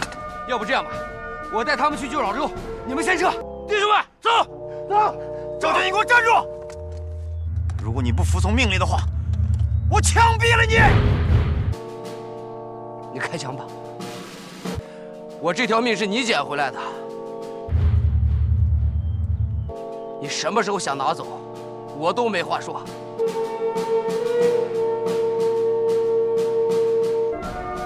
简直是反了！弟兄们，走！我们撤！周卫国带着两人来到汇合地点，却不见许光荣的接应部队。眼看日军已经带兵追上，两人把受伤的杨大力藏了起来，准备和鬼子进行巷战，迅速爬上制高点。这样错综复杂的地形，也让周卫国和徐虎的特战技能得到发挥。两人隐蔽射击，逐渐削弱鬼子的有生力量。可在鬼子的迫击炮覆盖下，周卫国还是手臂受伤，也使他用日语大喊救命，吸引鬼子的注意。徐虎从身后偷袭，小林闻声赶到，一顿乱射，徐虎腿部中弹无法行动，周卫国只只得把他搀扶到安全区域，自己去独自面对剩下的鬼子。鬼子这边也只剩下两人，他们分为两边包抄。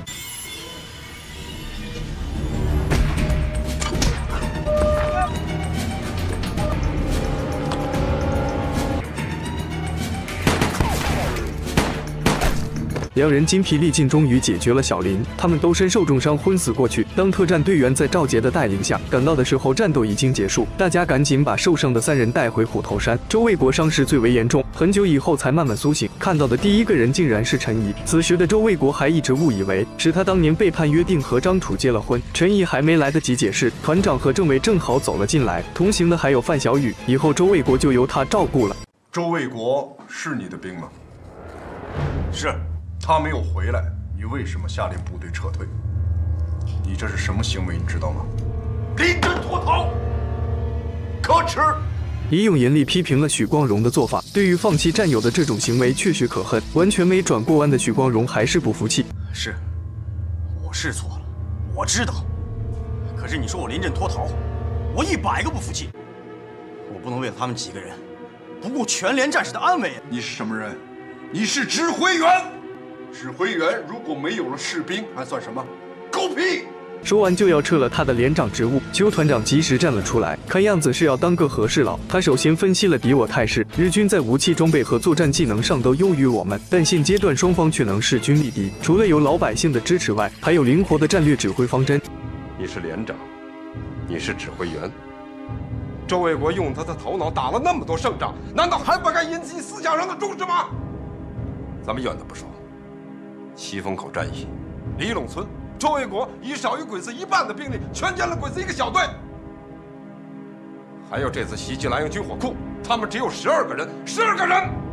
求明的话让许光荣心服口服，最终的处理结果就是许光荣关一个星期的禁闭，反省自己的错误。而周卫国身为三连代理连长，刘远路过虎头山来看望周卫国，兄弟俩促膝长谈。刘远知道他心里一直放不下萧雅，劝他要面对生活，不要活在过去里，学会珍惜眼前人。莱阳的日军此次损失惨重，所有物资和列车全部烧毁，负责守卫的军官也切腹自杀。金卫文发誓要一举消灭周卫国，也是命令藤本带重兵围剿虎头山，绕过外围的八路军防防御。部队顺利渗透到杨村团部附近，沿途悄无声息地抹掉了八路军的暗哨。一名战士临死之前拉响了手榴弹，藤本中队直奔团部而来。周卫国立刻让张楚通知连部，带着重伤员和村民转移，他自己带领剩余的战士去妙王山阻击敌人，为老百姓和兵工厂的转移赢得时间。刚到妙王山，就看到敌人摸了上来。周卫国让大家先隐蔽，等鬼子稍微靠近，首先用手榴弹招呼。刚一接触鬼子，就吃了大亏。杨大力扛起机枪扫射，水生的狙击枪弹无虚发。鬼子只能退了下去，局势就形成了两军对峙。这是鬼子的试射，大家冲进去公室里面，走！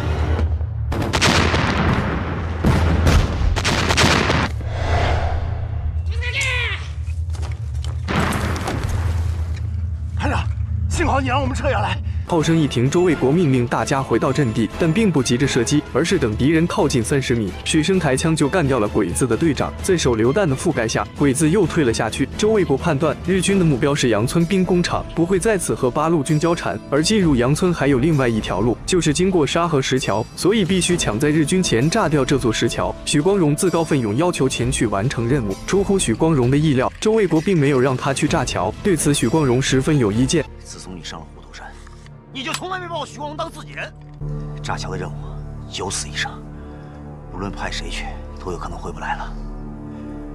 可是你周卫国，宁愿派你的兄弟徐虎去送死，你都不让我去。可徐虎他们刚到桥边，就碰到鬼子突击队，被阻在桥前，无法完成任务。听到枪声就知道那边出事了，周卫国只得同意许光荣前去，并叮嘱他一定要活着回来。等等，活着和老兄弟喝酒，你一定给我活着回来。这边在敌人猛烈的炮火中，徐虎带来的战士相继倒下，连李三河也牺牲了。都死光了，三河也死了，我没用，我不住了。怎么办呢？万一我死了，说他妈什么呢你？我相信，森林在你的带领下，一定会威名远扬的。为了阻拦日军进杨村，许光荣和石桥同归于尽。老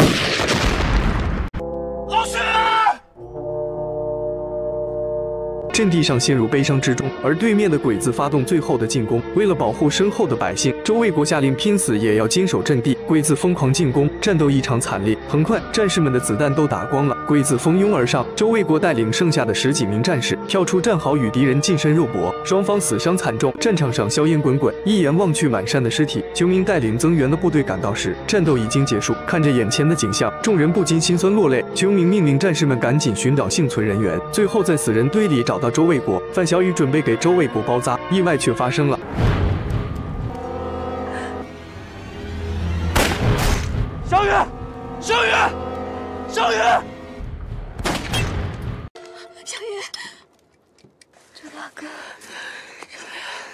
交给你。小雨，小雨。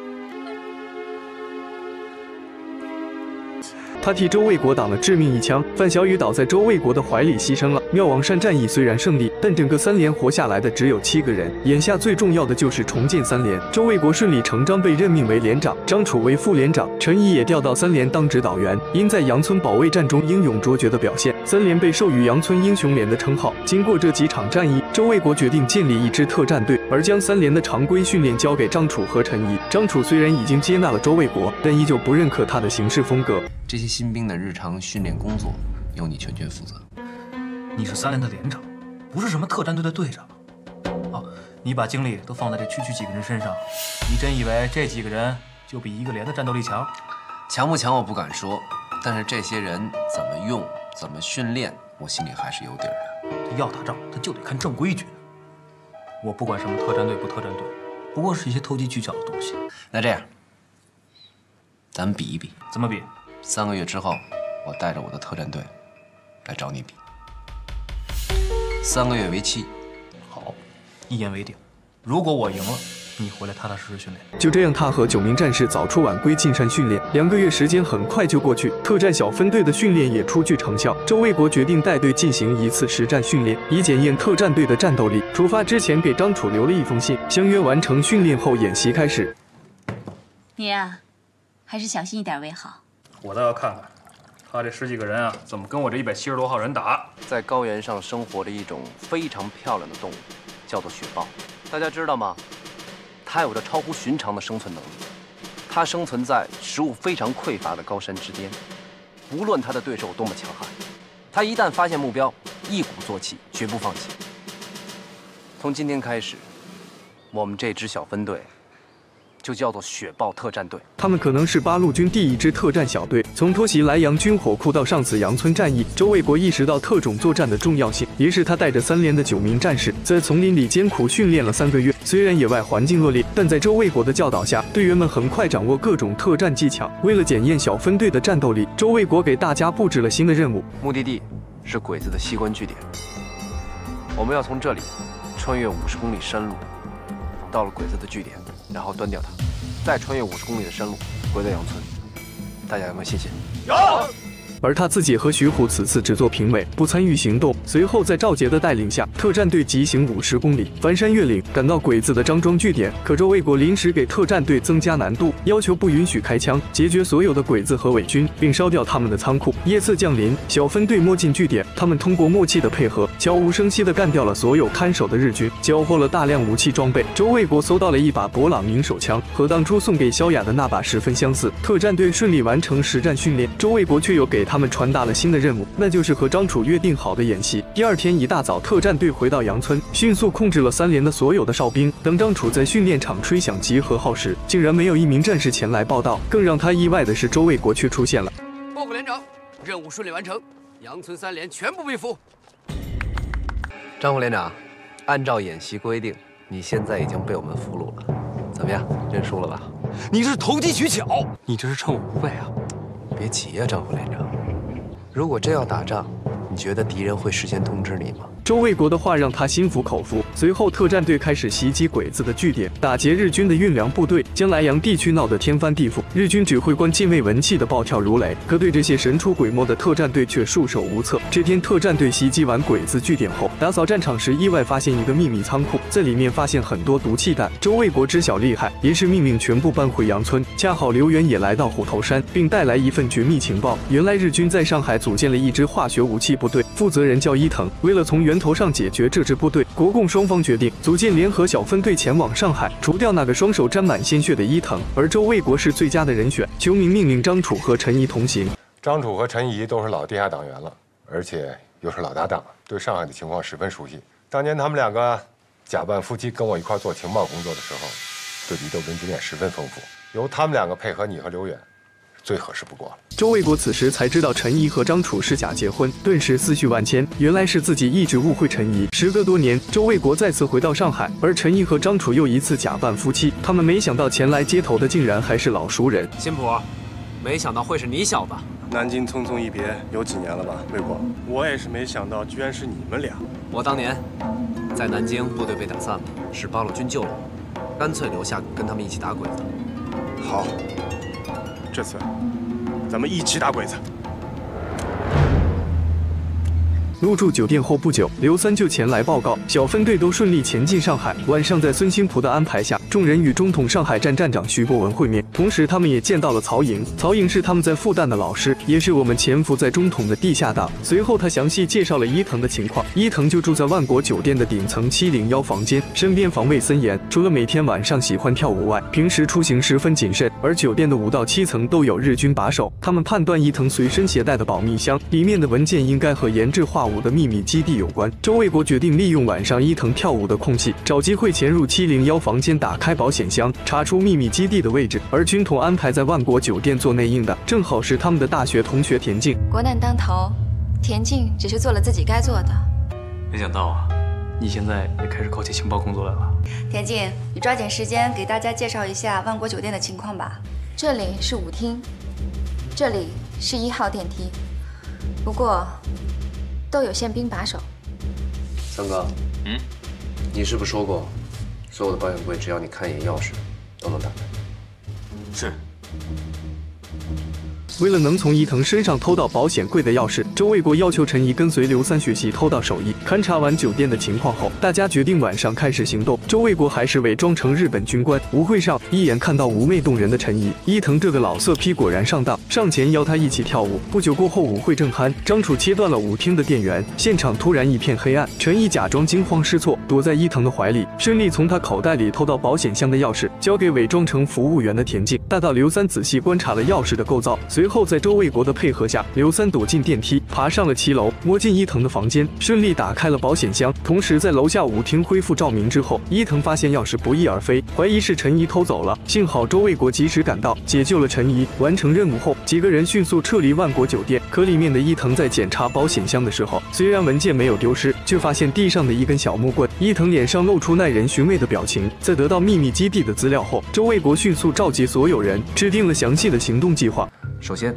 我要带领十名特战队员乔装潜入，解决掉他们所有外围的警戒和哨兵。孙新博，你带领你的军统别动队跟我一同进入基地，进入基地之后，你马上找到他们制作化学武器的重要设备，安放炸药一并摧毁。曹营已经安排好我们的撤退路线，并且在负责外围警戒。他们没有想到的是，其实这一次是伊藤提前设置好的圈套。谁？是我徐博文。我有事跟你说。曹英做梦也没想到，自己的顶头上司徐博文竟然是叛徒。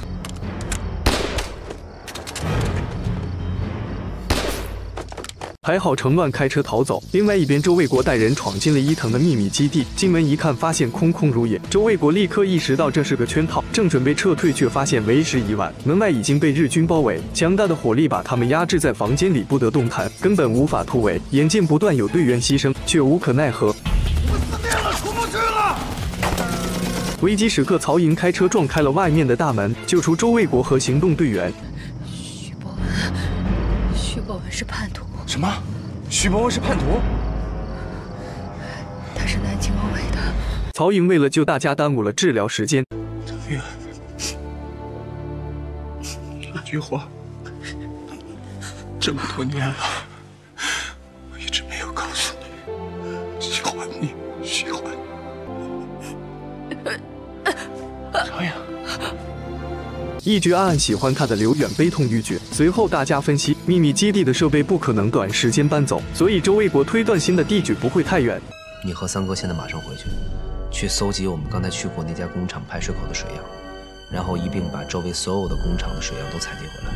我做实验应该能对比出来有相似的样本。徐国文现在很可能已经离开上海了，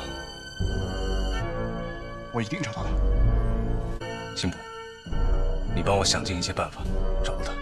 刘远和三哥再度潜回基地，对附近几家工厂的水质进行了采样。通过试验对比，很快就找到了新的地址。周卫国随即制定了新的行动方案，由张楚和陈怡负责外围警戒，特战队全员出动，从天而降攻入新基地，当场活捉了伊藤，命人铐起来后留下一人看守。周卫国带着其他人继续搜查，就是因为这一点疏忽，险些酿成大错。狡猾的伊藤偷偷解开了手铐，打倒了守卫，临走时启动自毁装置，然后逃之夭夭。这边周卫国听到警报声，命令大家迅速撤离。不久过后，基地发生爆炸，看到漫天的火光，张楚以为小分队成功完成任务，就让陈怡去通知司机开车。没想到一把手枪顶住了脑袋。等周卫国他们赶到时，陈怡已经失踪。可眼下敌人援军很快就要赶到，周卫国决定自己带着大力水生前去营救，其他人先行撤回酒店。在一个废旧的仓库里，终于找到了挟持陈怡的伊藤。周卫国明白，越是危机时刻，越要冷静。放开他！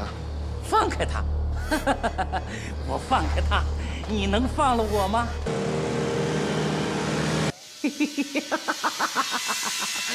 看来我不用急着回去了，最多再过上五分钟，我的人马上就能赶到。我说过，你活不过今晚。放下枪投降吧，这是你的唯一出路。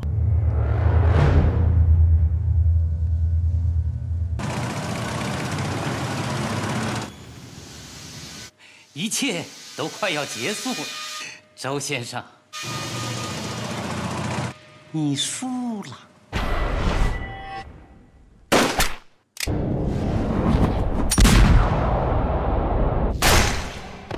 终于解救了陈怡，这次上海之行的任务也算圆满。可他们还有一事需要去完成。不久过后，周卫国、刘远、孙新普来到南京，他们要来找徐博文这个叛徒算账。徐博文此时已经是汪伪政府的情报顾问，这一次没什么计划，三人直接血洗了徐博文的公馆。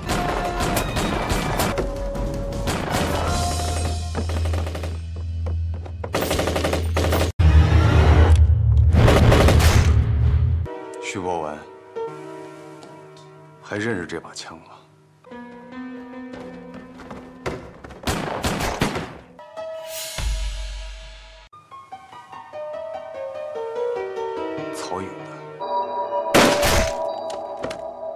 刘远开火一枪毙命，为心爱的女人报了仇。一九四一年中，八路军发动了著名的百团大战，给日伪军以沉重的打击。为报复我八路军实施的百团大战，日军集结重兵，对抗日根据地进行疯狂扫荡。为了彻底剿灭虎头山的八路军，日军一共设了三道包围圈，球民不得已只能准备转移。而周卫国的三连任务就是掩护主力突围。卫国呀，对团里的决定有什么想法啊？特战队对这一带比较熟悉。今天晚上，你就带着我的特战队走，可以给主力部队引路。也好，突围后。我会把他们归还给你。三连用重武器开道，猛烈的炮火吸引了鬼子的注意。禁卫文果然上当，误以为他们是八路军的主力，当即下令重兵围剿。虎头山主力部队得以突围。突破第一封锁线后，周卫国为了保存有生力量，决定把三连分成三个小组。我们现在的任务不再是掩护主力部队突围，而是保存自身。主力部队应该突围出去了，我们现在要反其道而行，回虎头山。我们前面就是日军的包围圈。好计，魏国就这么定了。我们现在分头突围。张楚，领导，咱们三个人各带一队，分头行动，走走。分开不久，张楚就陷入日军的重重包围，只能选择强行突围。听到枪声，周卫国临时改变计划，决定主动暴露自己，吸引围剿张楚的日军。战斗非常惨烈，面对敌人的两面夹击，身边战士一个个倒下。看来鬼子也没说的那么厉害！真没想到四面都是鬼子，我们今天冲出来了，肯定是周连长那边跟鬼子交火了，把鬼子吸引过去了。你以为是鬼子真不行啊？那咱们怎么办？回去救他们吗？不要，别辜负了连长一番好意。冲不出去，他就不叫周卫国。谁冲不出去我都信，就唯独他周连长。哼！同志们，撤！可他们不知道的是，此时的周卫国这边只剩下几个人，而且前有阻截，后有追兵。情急之下，周卫国只能决定让战士们拽着绳子爬上绝壁。可还是被对面的鬼子看到，在周卫国的掩护下，陈毅和赵守田已经爬上山顶，正准备拉他上去。迫击炮却在他身边炸开，周卫国左胳膊受伤，他强忍疼痛，单手抓住绳子。赵守田在山顶拼命往上拉，而其他的战士都已牺牲，眼看就要到达山顶。把手给我，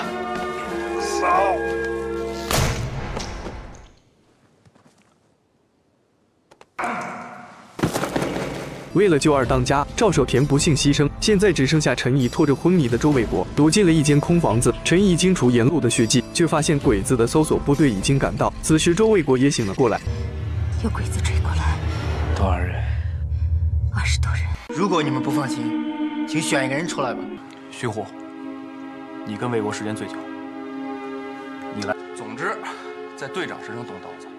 老子下不去这手。他们在争论的是由谁下手砍了周卫国受伤的胳膊。原来不久前陈毅和周卫国被鬼子包围，朱子明正好路过，把周卫国救回了清风寨。可由于失血过多，周卫国高烧不退，一直昏迷不醒，危在旦夕。可寨子里根本没有医护人员。老四提议去县城抓鬼子军医，也许还能救周卫国一命。当天晚上，朱子明和老四就潜入莱阳，捕捉了一名鬼子的军医。可在回城的路上，惊动了日军的巡逻队。朱子明带着属下奋力抵抗，可敌方人数太多，眼看就要支撑不住，却突然听见鬼子后方枪声大作，鬼子被扫倒一片。原来是张楚带着特战队赶到，他们也是为了寻找周卫国。就这样，鬼子的巡逻队被全歼。当得知周卫国就在清风寨时，众人跟随朱子明上了山。经过日本军医的检查，他告诉众人，周卫国的胳膊已经感染，必须要截肢才可能保住性命。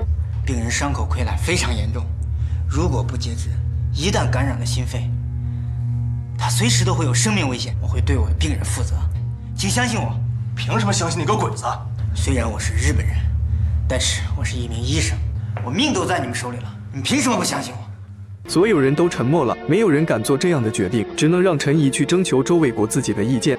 有个事儿，我想跟你商量一下。你这条胳膊怕保不住了，我们抓了一个鬼子军医来给你检查，检查的结果是。伤口感染，这条胳膊已经坏死。如果不及时截肢，恐怕……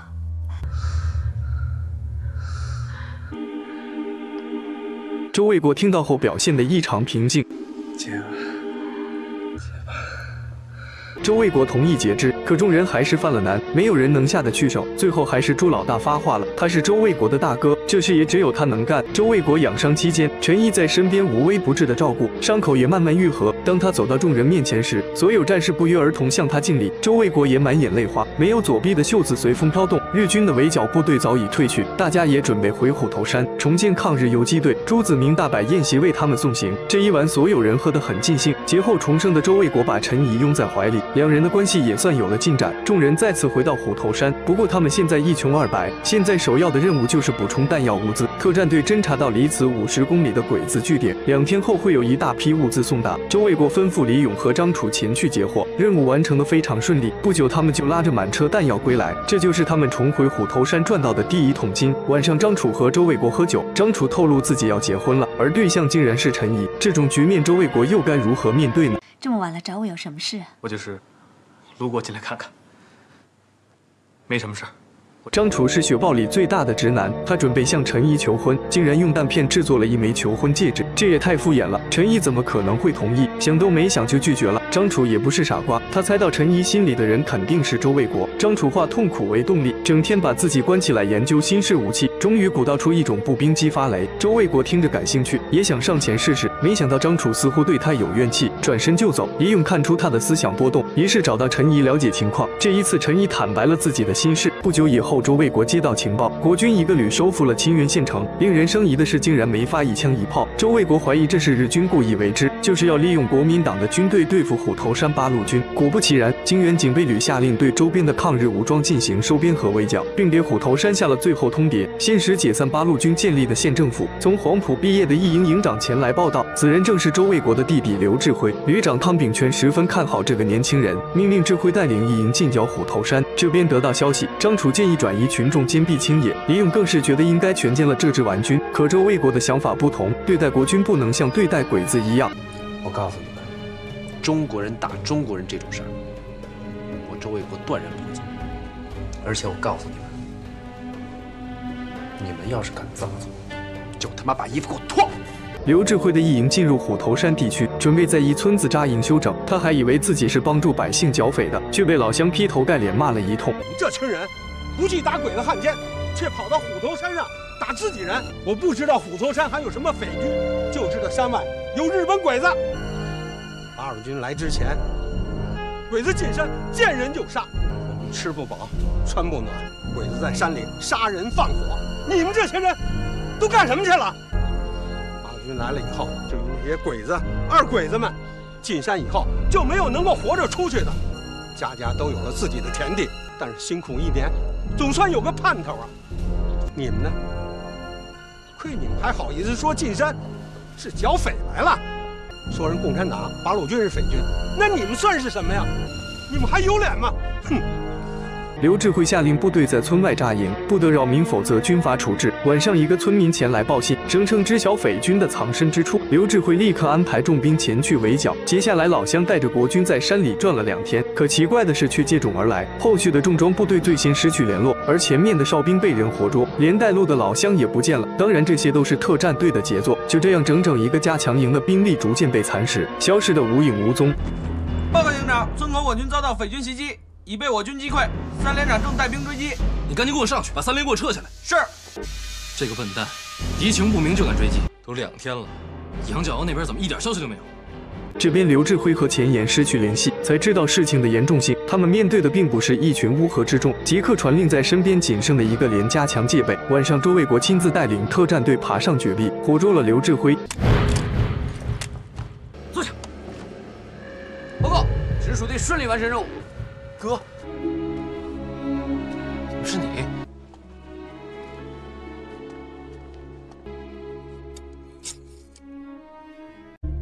今天晚上这一仗，你服不服？服。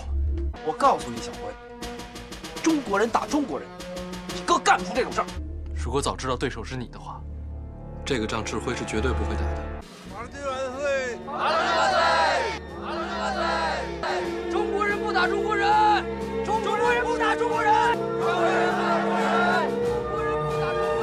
阔别已久的两兄弟在这种环境下相遇，两人真是百感交集。周卫国和小辉讲述了自己的经历，从南京保卫战到萧雅的牺牲，从清风寨二当家到虎头山八路军。讲到伤心处时，周卫国泪流满面。第二天画风就变了，因为志辉看到了陈怡，陈怡好酒好菜招待了这个亲人。你们兄弟好不容易见面，小辉啊，喝尽兴了啊！哎，谢谢嫂子。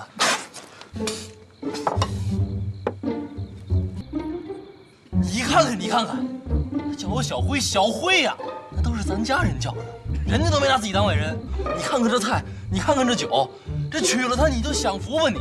你干嘛呢？你还跟这儿咳嗽？临走前，智辉把自己的配枪送给了周卫国，并承诺今后两军精诚合作，共同抗日。周卫国乘机向他要点西药和装备，智辉也很爽快就答应了。看着智辉留下的武器装备，战士们心里都乐开了花。与这些相比，他们自己平时用的就是烧火棍。张楚和李勇更是对他赞不绝口，李勇甚至学会了和周卫国开玩笑。我看见刘营长送你一把好枪啊，瞻仰瞻仰。瞎粘什么呀？这么多东西还不够养你的眼的？这样，你可以把这支枪送给我。我觉得出于革命的友谊，我呢也不好意思不接。见过脸皮厚的，我真没见过像你脸皮这么厚的。此时的张楚也算是彻底醒悟，终于看到了周卫国的优秀，难怪陈毅这么多年一直等着他，于是主动找到陈毅，选择退出。几天后，刘志辉的副官就送来大量物资，旅长汤炳全也捎来书信，邀请周卫国进入清源县城，共商抗日大计。李勇害怕这是鸿门宴，让他要谨慎行事。可周卫国早已胸有成竹，不久在杨大力的陪护下，周卫国就来到清源警备旅。众人客气一番后，汤炳全想要收编虎头山的小心事也就显露了出来。参谋于德水也出来添油加醋，对于。联合抗战的事只字未提，周卫国可不吃他们那一套。凭借三寸不烂之舌，说的两位国军首领无言以对。最后收编仪式也就暂时搁浅。不过汤炳全为人还是很厚道，送给周卫国几百大洋，这种好事他当然照单全收。婉拒了汤炳全留宿的好意后，周卫国住进了悦来客栈。而早先就潜入的特战队已经摸清警备旅的情况，探查到汤炳全治军还算严明，极少有扰民的现象，所以泾源县的百姓还是很支持他们。不过刘三却在这里遇到莱阳的一个汉奸。名叫刘二麻子，在国军的地盘遇到汉奸，肯定是有蹊跷。于是让刘三前去查探一番。原来是清源警备旅的参谋于德水，早已和日本人相互勾结，这一次就是要暗杀周卫国。当天晚上，刘二麻子带着两个日本剑道高手，正准备去周卫国的旅馆对他下手，却不想遇到特战队员的提前埋伏。黑暗里，三人被一顿臭打，其中一个日本人被当场射死，刘二麻子也被押了回来。经过审问，才得知于德水刺杀途中临时变卦跑路，才逃过特战队员的拦截。我来清源县城的事儿，是不是他告诉你的？嗯，前几天他派人通知我，说二月十三号周长官您将到清源县城，让我通知日本人，利用沙林来挑拨庆元国军。和你们八路军之间的关系。第二天，周卫国再次来到警备旅，准备揪出于德水这个日军奸细。可刘二麻子一见到他是国军高官，就立马改口翻供，把自己说成是在莱阳卧底的党国忠臣，是周卫国冤枉了他，随身还携带了莱阳鬼子的情报。于德水自然也加以协助。汤旅长也相信这是一场误会，因为没有确凿证据，周卫国只能暂时妥协，回到客栈和赵杰商量下一步计划。本想利用刘二麻子抓住于德水，没想到这个家伙竟然临时翻供。现在特战队员也暴露了，周卫国害。害怕于得水报复，于是让特战队员都撤出清源，顺便把鬼子尸体送去莱阳，嫁祸给清源警备旅。到时候汤炳全也只能被迫抗日。不出所料，于得水在吃了亏之后，以寻找汉奸的名义，准备强行搜查周卫国的住处。还好刘志辉率领部下及时赶到。两天后，赵杰和刘三回到县城，周卫国便交代他们下一步计划。他们得知每个月的十七号，于德水要去和日本人接头，便安排赵杰前去抓捕。而刘三的任务还是老本行，负责去于德水家里偷去他通日的证据。还是去吧，走。坐稳了，两位。等到一切事情都办妥后，周卫国再一次来到清源警备旅，而这次汤炳全格外热情。原来之前的计策奏效，莱阳方面正在集结重兵，貌似要大举进攻清源县。这下汤炳全也急了，想要和八路军联合抗日。在谈合作之前，周卫国把于德水推了出来，并拿出了他和日本人的往来信件。这里面就是于参谋长和日本人勾结的证据。于德水，你对得起死去的兄弟吗？你，你对得起你穿过的军装吗？连日本人的事儿你都敢干！你坐，我错了，我对不起你。现在证据确凿，于德水也无力反驳，只能乖乖认罪。至此，汤炳全身边的叛徒已除，双方共同商讨抗日大计，大致内容就是平等合作，双方严守各自防区，互不干扰，协调配合，共同抗敌。回到虎头山后，大家对签订的协议十分满意。嗯，他明确了我们和国军的合作。同时又坚持了我们独立自主的精神，这份协议签得非常好。但眼下还是要延缓莱阳方面对清源国军的进攻。周卫国决定采用声东击西的办法，准备再次进攻莱阳县城。只有把莱阳闹得鸡犬不宁，才让他们无暇进攻清源县。鬼子对莱阳的防御可谓是滴水不漏啊！你觉得我会强攻吗？虎子，走。咱们机炮连国造的二八式八十二公里迫击炮的射程是多少？呃两千五百五十公尺。你马上去通知炮连，让他们做好准备。这一仗，炮连唱主角。是。赵杰，到。你马上集合部队，潜入莱阳县城，把鬼子的通信站、供电站、鬼子兵营和宪兵队都给我炸了，把莱阳县城闹得越乱越好。可现在鬼子防守严密，怎么把武器和弹药运进去却是一大难题。我那个兄弟啊，八路军周卫国周长官让我给你带句话，你记住了。你现在是给日本人做事啊，万一哪天日本人要是你每干的一件事儿，都有人跟你记着账呢。大哥，我懂，我懂。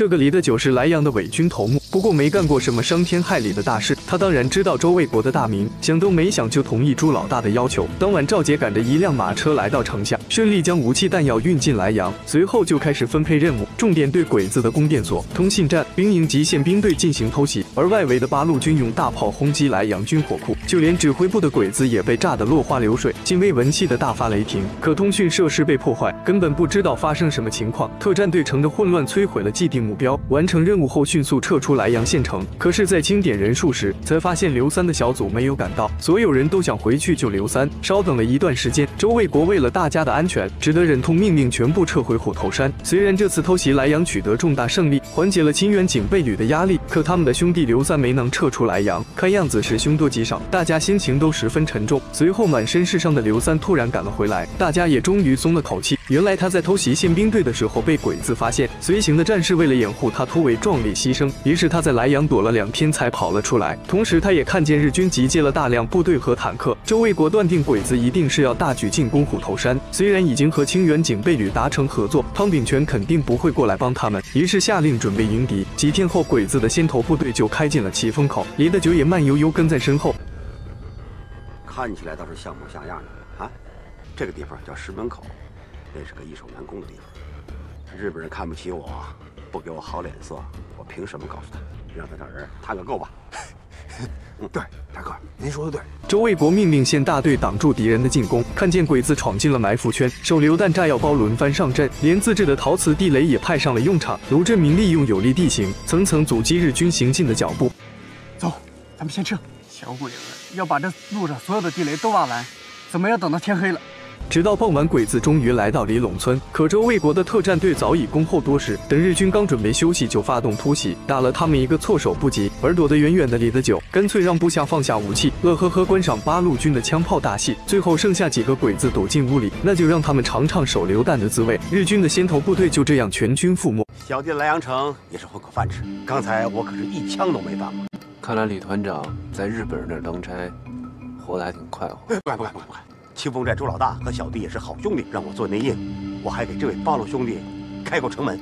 没错，上回在莱阳县城给我开城门的就是他。周卫国当然不会为难李德九，教训一番就放回了莱阳。可鬼子的大部队随后就会赶到，周卫国又该如何应对呢？日军这一次对我们的进攻很可能会出动坦克，我们要做好反坦克战的准备，所以我们要提高警惕。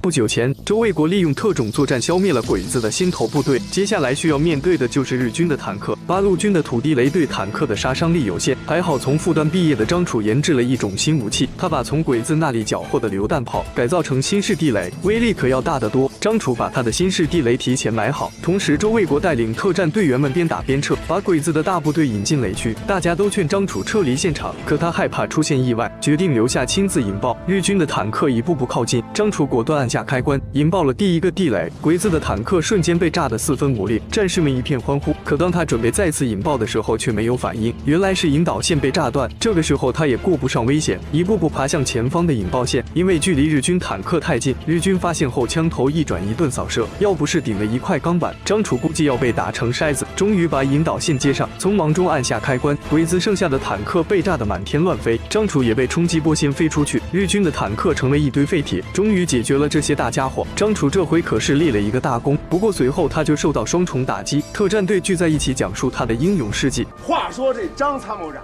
那小鬼子的坦克车开过来一炸，他离炸点太近，他整个人被这气浪给掀翻了。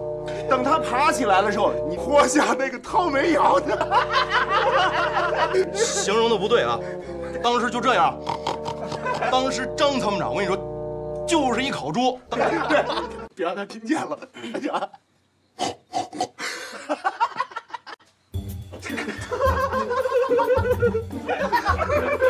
张楚来到周卫国的房间，自从被陈怡拒绝后，心里一直放不下。我今天想明白一件事：人这一辈子，大不了就是一死。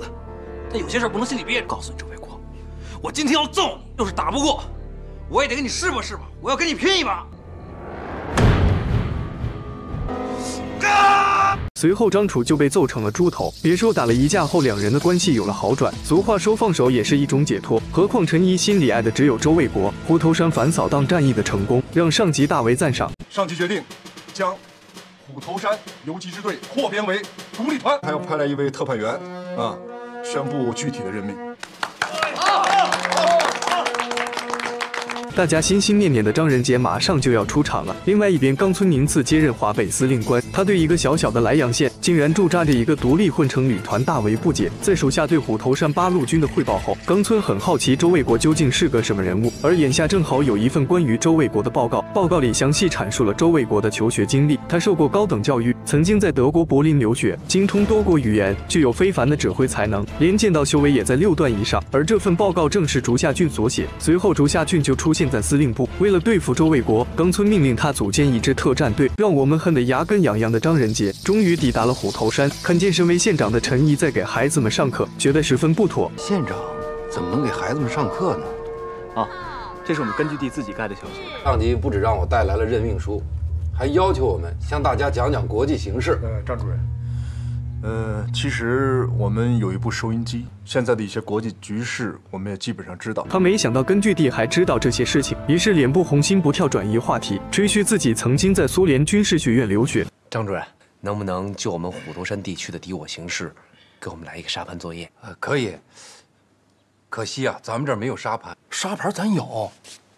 到了沙盘面前，他却傻了眼。毫无实战经验的他，一下子就露了马脚。所谓的大纵深立体化作战啊。就是大兵团的机械化战争，机械化大兵团，对。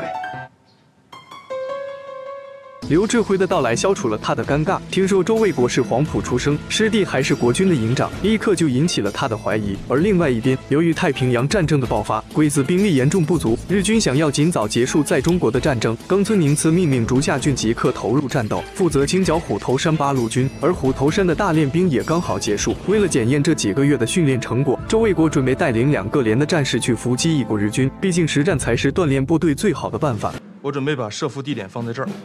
两边有不到百米的高山坡，中间夹着一条公路，由团长和我各负责指挥一边。我准备把一连和二连分别安置在峡谷两边的山坡上。此时的张仁杰又出来作妖了，他也要求参加伏击。周卫国把原本分给徐虎的一连让他来带。很快，日军的满编小队就进入伏击圈。周卫国命令等鬼子的汽车进入雷区再开火。而张仁杰根本不会打仗，看见鬼子就胡乱指挥，早把之前的布置忘在脑后。打！谁命令开枪？周卫国无奈，只能命令支援。最后，张仁杰竟然命令战士们迎面冲锋。好好的一场伏击战，本来可以做到零伤亡，结果牺牲了好几名战士。周卫国大为恼火。谁开的枪？枪是张主任开的，命令也是他下的。我，周团长，这仗打得漂亮吗？漂亮，那是真漂亮。为什么让部队去冲锋去拼刺？我不是为了节约弹药吗？放屁！老子的人他妈还不值那几个弹药钱吗？张仁杰完全没意识到自己的错误，就连李勇也大为恼怒。八路军这边内部出现问题，而另外一边的竹下俊却已经开始行动了。他让自己的属下送来信件，大致内容是多年未见，十分想念，并约周卫国去金源县附近的半山亭见面。对于见面的地址，张楚觉得十分蹊跷。一个日本人约你在国军的地面上见面，他为什么要约你在半山亭见面呢？那是汤炳全的地盘！周卫国推断竹下俊可能会偷袭清源山，立刻派人去通知小辉做好防范。现在根本不知道竹下俊的意图，只能让特战队时刻做好准备。当晚，竹下俊的特战队就摸进了虎头山附近设置的暗哨悉数被害。就在他们要靠近石门村的时候，一名战士临死前拉响的手榴弹，驻扎在村里的八路军冲了出来。日军特战队的人数虽然不多，但装备精良，火力太猛。幸亏大力和水生带领的特战队赶到，从东西两面包抄，终于压制了鬼子的火力。日军特战队不敢恋战。战，只得迅速撤离。水生很快就追了上去，连续狙杀三名对方的特战队员。随后大力也带着人赶到，对方看清形势不敢恋战，在炮火的掩护下突围出去。周卫国检查完鬼子的尸体，他们使用的都是美国货。咱们的装备和他们相比差的不是一星半点啊！这些人就是竹下郡的特战队。如果我没猜错的话，随后又传来更坏的消息，国军驻守的清源山遭到竹下郡的偷袭，伤亡惨重。他叮嘱小辉一定做好准备，防止竹下郡的特战队再一次偷袭。回到指挥部，周卫国命令所有人提高警惕，严守进出虎头山的各个路口，而他则要准备和竹下郡的会面。他命令枪法最好的水生柱子提前出发。水生柱子，你们两个后半夜就摸上去，找个隐蔽的地方潜伏下来。如果发现日军的狙击手，就要干掉他，然后监视竹下郡的一举一动。明白。水生两人连夜摸上了半山亭对面的山坡，很快就清除了对方的狙击手。第二天，竹下郡在半山亭备好茶水，坐等周卫国的到来。而柱子和水生注视着亭子里的一举一动。宫本茂不停地观察四周，他应该想不到提前布置好的日军狙击手已经在昨晚被人干掉。随后，周卫国如期赶到，竹下郡惊讶他失去了一条胳膊。简单的寒暄过后，免不了还是要回到现实。站在对面的是一生最强的对手。竹下郡提出和周卫国比试剑道，周卫国欣然接受。山上的水生从瞄准镜里看着两人的打斗，突然一道光线一扫而过，水生敏锐地感觉到对面山上还有狙击手，刚才的光正是对方瞄准镜反射所形成。柱子扣动扳机击杀了对方，场中两人比斗正酣，枪声让竹下俊稍一分神。周卫国的剑已架在他的脖子上，水生用镜子反射光线，引诱日军第三名狙击手出手，确认了对方的位置，随后一枪毙命。竹下，你输了，你赢了，请动手吧。曾经你在柏林说过。今后如果在战场上相遇，你绝不会手下留情。周卫国收回了佩剑，说到底他的剑道是竹下俊教的。中国人向来尊师重教，相约战场上再兵戎相见。随后，周卫国带着杨大力离开了。狙击手的交锋也让竹下看出彼此的差距。自己的特战队刚成立不久，配备的武器虽然精良，但部下都缺少实战，所以他现在需要的是时间。团长究竟怎么想的？怎么就这么放过这两个鬼子？咱们俩要是把这两个小鬼子给干掉了，你也不想想这是谁的地盘？竹下俊当然也知道这一点，所以他明知道对面有狙击手，还是气定神闲地端起茶杯。多谢手下留情。水生却不懂风情，一枪就洞穿了桌子上的茶壶。手下留情，想得美。竹下俊从弹道的轨迹看出，对面山上有两名狙击手。随后冷静指挥宫本茂，两人迅速躲进了后面的柱子。这里是射击死角，找不到射击角度，而敌人的援军就要赶到，水生和柱子只能选择撤离，几乎被周卫国生擒。竹下俊决意厉兵秣马，用实战来锻炼自己的特战队。那么首要目标就是清源警备旅。不久过后，国军一团的几个营相继遭到日军的偷袭，只有刘志辉的三营没有任何损失。汤炳全大发雷霆，当即把团长送到了军法处，任命刘志辉接任为一团团长。这边虎头山也麻烦不断，村民踩到来历不明的地雷，不用想肯定是竹下的特种部队所为。周卫国当即命令加强警戒，并让工兵尽快扫雷。随后，杨大力的一营也被鬼子伏击。怎么被发现的？没想到在封锁沟里面，小鬼子竟然灌了水。本来很简单的一个突越封锁线，溅起的水声被炮流里的鬼子给发现了。这一切都是竹下的手段，可竹下俊却说这些其实是缓兵之计，只是为了让自己的队员尽快得到锻炼。周卫国决定联合朱子明干一票大的，目标就是不久前伏击一营的炮楼。可当他们准备借道穿越封锁线时，伪军排长袁大刚的一席话却点醒了他。听说昨天晚上贵军在北边鬼子炮楼那儿吃了亏，以贵军的形势，不可能轻易的放掉鬼子那个炮楼。通知部队，计划有变，原地待命。是。这么简单的道理，袁大刚都明白，竹下俊不可能不知道，一定会提前有所埋伏。袁大刚只是一个伪军的排长，连他都知道我们要去报复那个炮楼。竹下俊不可能不知道。经过赵杰的再次侦查，果然发现炮楼附近藏有大量的日军。周卫国重新部署了作战计划，把队伍分成四个小队，佯攻鬼子的其他三个据点。排长，这都是佯攻，哪是主攻啊？把这个局搅乱之后，自然而然我们就有主攻方向了。这一策略打乱竹下郡的部署，得不到对方的主攻方向，竹下郡只能静观其变。可这魏国并不打算干耗下去，命令迅速端掉鬼子的两个据点。赵杰，通知第一分队和第二分队，四十分钟之后端掉两个据点，让人撤退。团长，咱们就这么撤了？我们端了人家两个据点，这次没白忙活。再打下去，输赢就难说了。鬼子又要进山了。这一次是竹下亲自带领三个小队，他们伪装成八路军，利用空降的方式进入虎头山腹地。第一个目标就是赵庄的指挥部，有一名鬼子的降落伞出现故障，下落不明。剩下的三十五人直扑赵庄。好巧不巧，鬼子的尸体正好被当地民兵发现。周卫国判断竹下的特战队已经进入虎头山，随后战士们也挖到了他们掩埋的降落伞，从而确定了来犯的敌军人数。从空降的位置分析，周卫国知道他们的目标就是赵庄。幸亏在此之前，他已通知陈怡带领赵庄的村民转移。等竹下郡赶到时，村子里空空如也。可竹下还是发现了蛛丝马迹。报告，在赵庄东面山坡上发现马蹄印。马蹄印，顺着马蹄印，最近是。两个小时以后，他们追上了赵庄殿后的民兵。民兵队长识破了竹下的身份。周团长不是在你们杨氏团部吗？报告，三连的驻地根本就不在一线天，到底什么人？区小队为了保护赵庄百姓，一个又一个倒下。此时，周卫国的特战队也已经赶到了赵庄。卫国，在村子东面发现一些新脚印，看他们走的方向，应该是顺着老百姓转移的方向走的。全里都有，呈战斗队形，马上追击。是，走。这边战斗已经结束，区小队以全体阵亡的代价打死了四个鬼子。竹下军也得到一个重要线索，那就是八路军的指挥部设在杨村。他没有为难这些老百姓，反而让他们给周卫国带句话，请转告周卫国，叫他小心他藏起来一百多个箱子。那一百多个箱子就是当初在西关据点缴获的日军毒气弹，这也是竹下俊进山的第二个理由。竹下根本不知道箱子藏在何处，只能通过这种打草惊蛇的方式逼周卫国有所行动。随后，竹下俊改变策略，安排两个队员吸引周卫国的追击，他们则掉头直扑八路军团部杨村。周卫国从老百姓的口中得知了竹下的消息，于是一路追踪，沿途还要小心对方设置的地雷，导致无法全力追赶。原为猎户的水生最早发现不对劲，他从树叶的刮痕看出前面通过的只有两个人。林子这么密，每多通过一个人，枝叶都会被多刮动一次。如果他们是一个接一个通过，那留下的痕迹岂不是很少？就算在同一个地方，一个接一个的过，也是一样的。周卫国意识到这是竹下郡的调虎离山之计，意图就是把他们引离真正的目标。竹下郡在把我们引离他们的作战目标。咱们现在所在位置的西南边，而且具有攻击价值的只有。杨村。此刻的杨村一片宁静，竹下郡的特战队已经来到村外，就等天黑以后开始行动。竹下郡借着夜色突袭了杨村，李勇听到枪声，知道形势不妙，命令机要员携带电台从地道撤离，作战室的重要文件也要立刻销毁，不能给鬼子留下任何情报。眼看敌人越来越近，李勇突然想起作战室里沙盘还未摧毁，上面标注有虎头山的兵力部署。两人准备返回作战室，正好撞上冲进来的日军特战队，警卫员在掩护李勇时牺牲。你们这里头谁叫朱夏俊？我就是。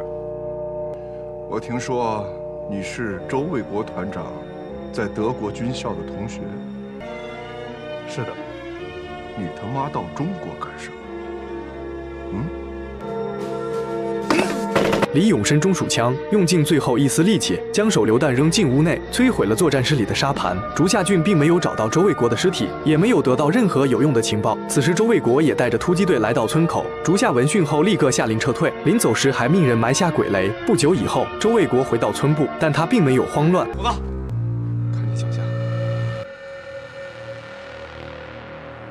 竹下郡的偷袭造成包括李勇在内四十七名官兵壮烈牺牲。看着一个个阵亡战士的尸体，大家泪流满面。周卫国发誓一定要报仇雪恨。杨村似乎又恢复了平静。周卫国下达了针对竹下的特别命令：第一，困敌，更换部队原有口令，绝不允许这股小鬼子在虎头山地区自由行动；第二，欺敌，通报下去，就说这股鬼子已经大部分被我们歼灭。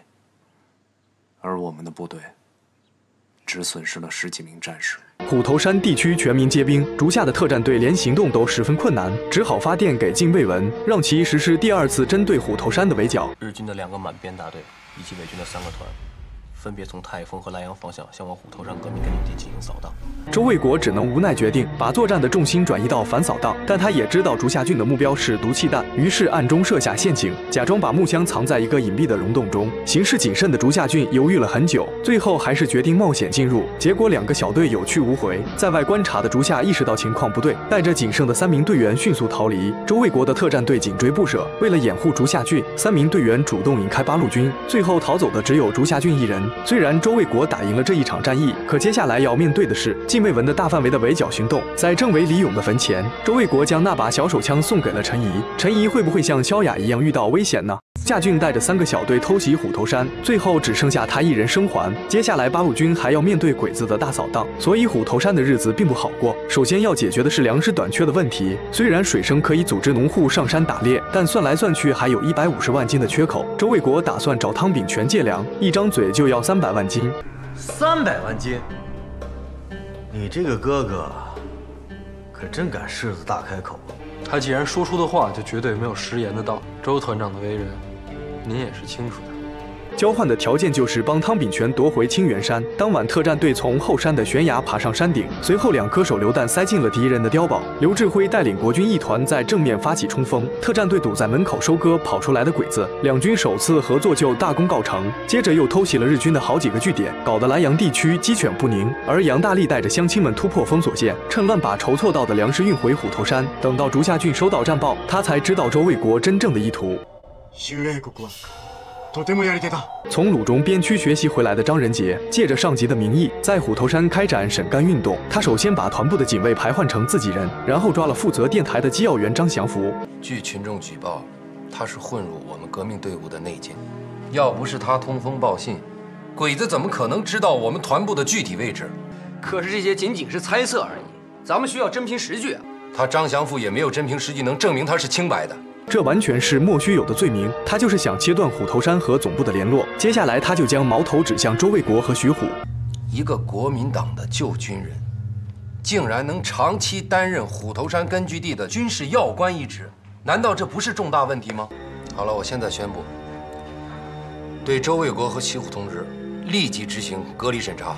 在场的每一个人都极力反对，可张仁杰现在身为政委，完全不理大家的意见。他还想拉拢张楚和他一起对付周卫国，可张楚根本不吃他那一套。随后，张仁杰却更加变本加厉，他找到周卫国，说徐虎是打入八路军的内奸，并且利用之前特战队建立的情报网，调查出刘三以前是小偷，也关起来审查。周卫国十分不满，怎么做你负得起责任吗？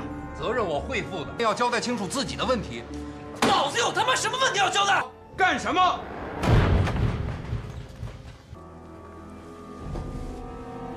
随后，张仁杰竟然私自带着队伍去攻打复兴镇的日军，结果中了鬼子的埋伏，三营损失惨重，特战队拼死断后，牺牲了六名战士，才掩护他们撤出战场。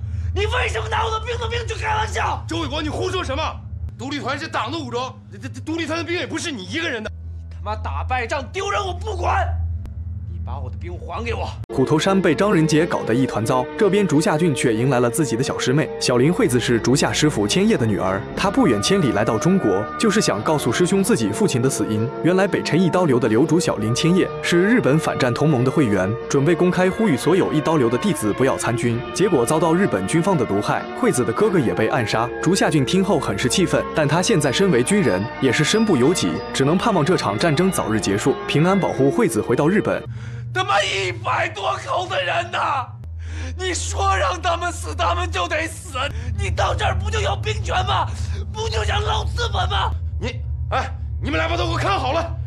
虎头山被张仁杰搞得一团糟，沈干的消息很快就传到莱阳。竹下俊分析周卫国一定牵扯其中，不然上次复兴镇的埋伏不可能轻易得手。禁卫文下令集结重兵进攻虎头山，此时的张仁杰却得到一个十分重要的情报：周卫国的父亲是苏州维持会的会长。这下总算让他抓住了把柄，拿着报纸就去找周卫国耀武扬威。这是江苏省委提供的报纸，你父亲周进先做了日本人的苏州维持会会长，你自己好好看看。周卫国完全不敢相信，父亲周继先一直是他心中的丰碑，可现在证据确凿他，觉得天都要塌了。个人得失荣辱，比这国家利益，那是微不足道。儿啊，自古忠孝难两全。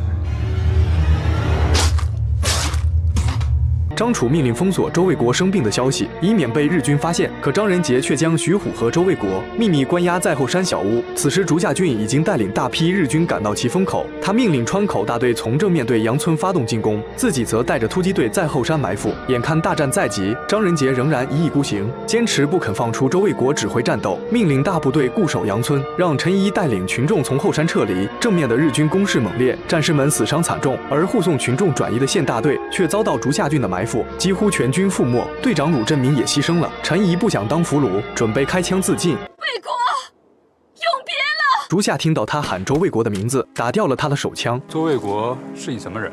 不知道。就这样，陈怡被竹下郡抓走。张仁杰除了死守，根本不会指挥。张楚要求他立即释放周卫国，可他仍然不肯答应。无奈张楚只得派赵杰去找朱子明和刘志辉求援，让他们攻打兵力空虚的莱阳县。只有这样，鬼子才有可能撤兵。经过刘志辉的苦苦哀求，汤炳全才同意出兵。不久以后，清源国军炮轰莱阳，而突围出来的特战队也在周边给鬼子致命打击。禁卫文不得不电告竹下郡，让他带领部队迅速回防。张楚得知陈怡被抓走，十分着急，临行前告诉杨大力，尽快把虎头山的情况报告给上级。这个是以我个人名义向上级反映情况，告诉赵杰，无论如何把这封电报发出去。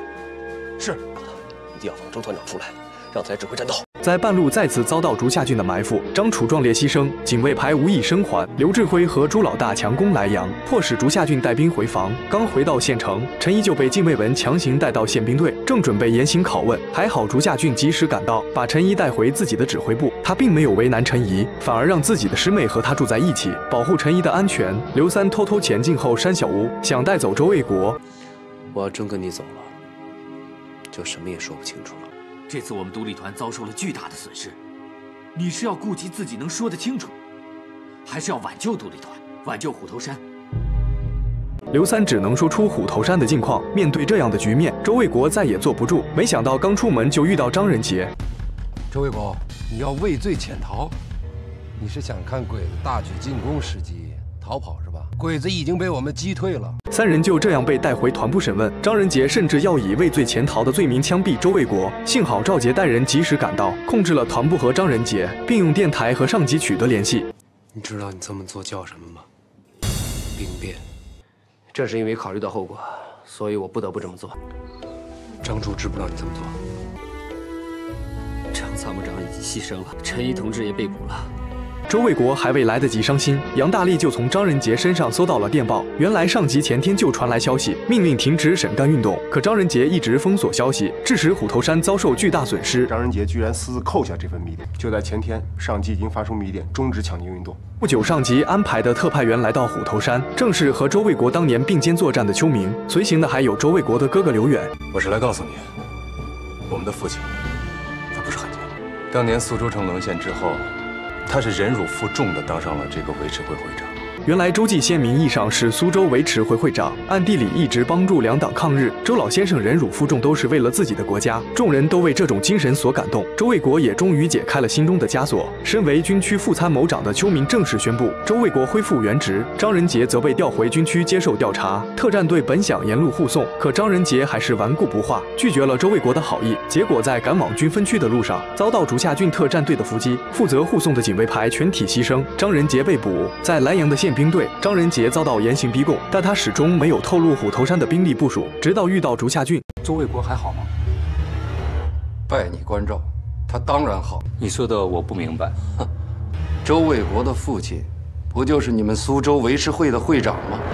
就这样，周老先生身份暴露。此时身在苏州的周继先正在帮田径将药品运到前线。听田径说，周文和刘远都参加了八路军，很是欣慰。这边周卫国也紧急联系江苏敌工委，本想通知父亲周继先迅速撤离，但苏州的同志还未来得及行动，日军宪兵队已经带走了周老先生，并故意贴出告示，明确表示将人关押在宪兵队。两党的高层都顾及周老的安危，准备组织人员营救。周卫国得知消息，觉得这就是日本鬼子的圈套，他们明白鬼子就是想利用布告试探。如果真的有人去宪兵队营救，那就坐实了周老的身份。我们的父亲向来做事谨慎，不会轻易暴露身份。如果父亲真的和国共双方都有关系的话，那么双方也许会在今晚就会展开营救。今天晚上的营救行动肯定会失败，我敢肯定，父亲根本不在什么宪兵队。而且还会暴露父亲的身份，于是赶紧向苏州发报，让他们暂停营救，静观其变。可国军那边无法联络，救援行动还是得以进行。最后果然落入鬼子的圈套。随后周老先生就被押送前往莱阳。周老先生被捕，竹下俊前来拜会，他并没有劝降，而是以魏国好友的身份来探望。我和你的儿子是在德国柏林军校的同学，你的儿子很像你，值得您骄傲。离开时嘱咐宫本保护周老和陈怡的安全。随后，竹下俊带领特战队摸入虎头山，他料想周卫国会去莱阳营救父亲，到时候八路军总部兵力势必空虚。但这一切都在周卫国的意料之中，所以他把大部队留在了虎头山，保护团部的安全。秋明更是为了配合周卫国的营救计划，果断放弃杨村，退入深山。这也导致竹下俊偷袭的计划落空。张仁杰终于见到了周卫国的父亲，宫本茂告诉了他真相。要不是你，我们还挖不出与国共两党皆有关联的奸细。大日本皇军要感谢你。张仁杰此时才如梦初醒，是自己冤枉周卫国，导致了周老先生被捕。周卫国，我张仁杰对不起你，你听见了吗？我张仁杰是个混蛋。可一切为时已晚，随后被鬼子执行了枪决。不久以后，在刘志辉炮营的掩护下，三兄弟来到城下，周老先生也被带上城楼。禁卫文本想让他劝降周卫国。见到久别的儿子们之后，周继先很是欣慰。爹，我一定把您救出来。日本人以我风烛残年之躯为诱饵，你竟甘心上钩，知其不可为而为之。你难道忘了为父说过的话了吗？倭寇进去日，我儿还家时。上马杀敌，方显男儿本色。你们听着，不要以我为念，保卫家国。倭寇出尽日，我儿还家时。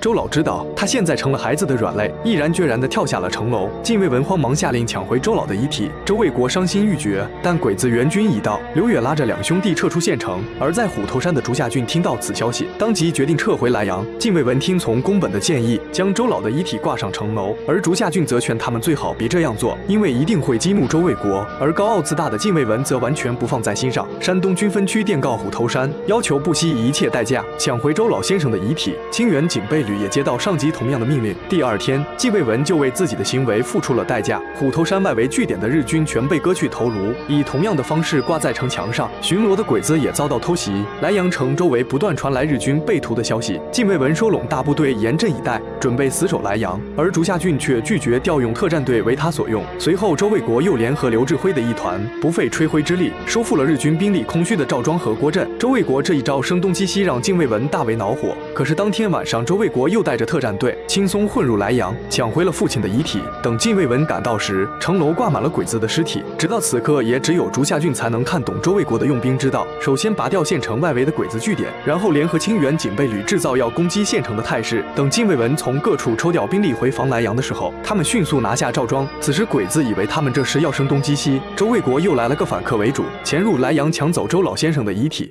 禁卫文近日将一一个骑兵中队。一个炮兵中队，满编三个步兵大队，再加上伪军的三个警备团。日军再次对虎头山进行围剿，周卫国也提前制定了应对策略。他打算把特战队拉到平原地带，以统筹指挥整个莱阳县的反扫荡工作。周卫国带队来到西沟村，这里是进出莱阳县的必经之路。恰逢日军战地参观团路过，这可是一块大肥肉，全都是尉级以上的军官。看着他们慢慢进入口袋，战士们喜笑颜开。在榴弹炮的一通轰炸后，鬼子被打得落花流水，四处逃窜。水生和柱子的狙击枪枪致命，杨大力架起重机枪疯狂扫射。就这样，鬼子的战地参观团。全军覆没。禁卫文得知消息，立刻抽调兵力前去查探。可五百多人的大队还没进村，就遭八路军地雷的轰炸，伤亡惨重。禁卫文分析，这伙人配备有重武器，还有虎头山特有的陶制地雷，肯定不是一般的地方武装，极有可能就是周卫国的独立团。此时的周卫国并不打算撤退，他给虎头山的刘远发报，表示自己要在西沟村继续牵制日军的主力，让刘远清除周围日军防守薄弱的据点。他这是要下一盘大棋。日军的无线电监测系统也捕捉到这信号，确认。任何虎头山团部电台的信号一致，近卫文十分兴奋，终于查到了周卫国的下落，随即打电话给竹下俊，请求一同前往剿灭周卫国。这可能是竹下唯一能打败周卫国的机会，因为你是我好朋友的女人，照顾好你，是竹下唯一能为朋友做的事。这边周卫国已经行动，他把特战队分成两组前后突围，成功跳出了鬼子的包围圈。日军指挥官还以为突围出去的只是一小部分，直到竹下俊赶到后，才发现村内早已空无一人。竹下俊命令特战队追赶。第二天天亮，就在杨村附近，周卫国在此埋伏，利用水声和柱子在后面骚扰，一步一步把竹下引入八路军的包围圈。在炮火的覆盖下，竹下俊发现自己陷入绝境，他命令士兵举了白旗，随后认真地整理了自己的着装，带着两把剑跳出战壕。周卫国，我期待着有一天跟你做一个了断，谢谢你给了我这次机会。在两人摆好比剑的架势后，让周卫国震惊的一幕发生了。竹下俊硬生生砍掉了自己的右肩，他想要和周卫国公平一战，可现在已经没有机会了。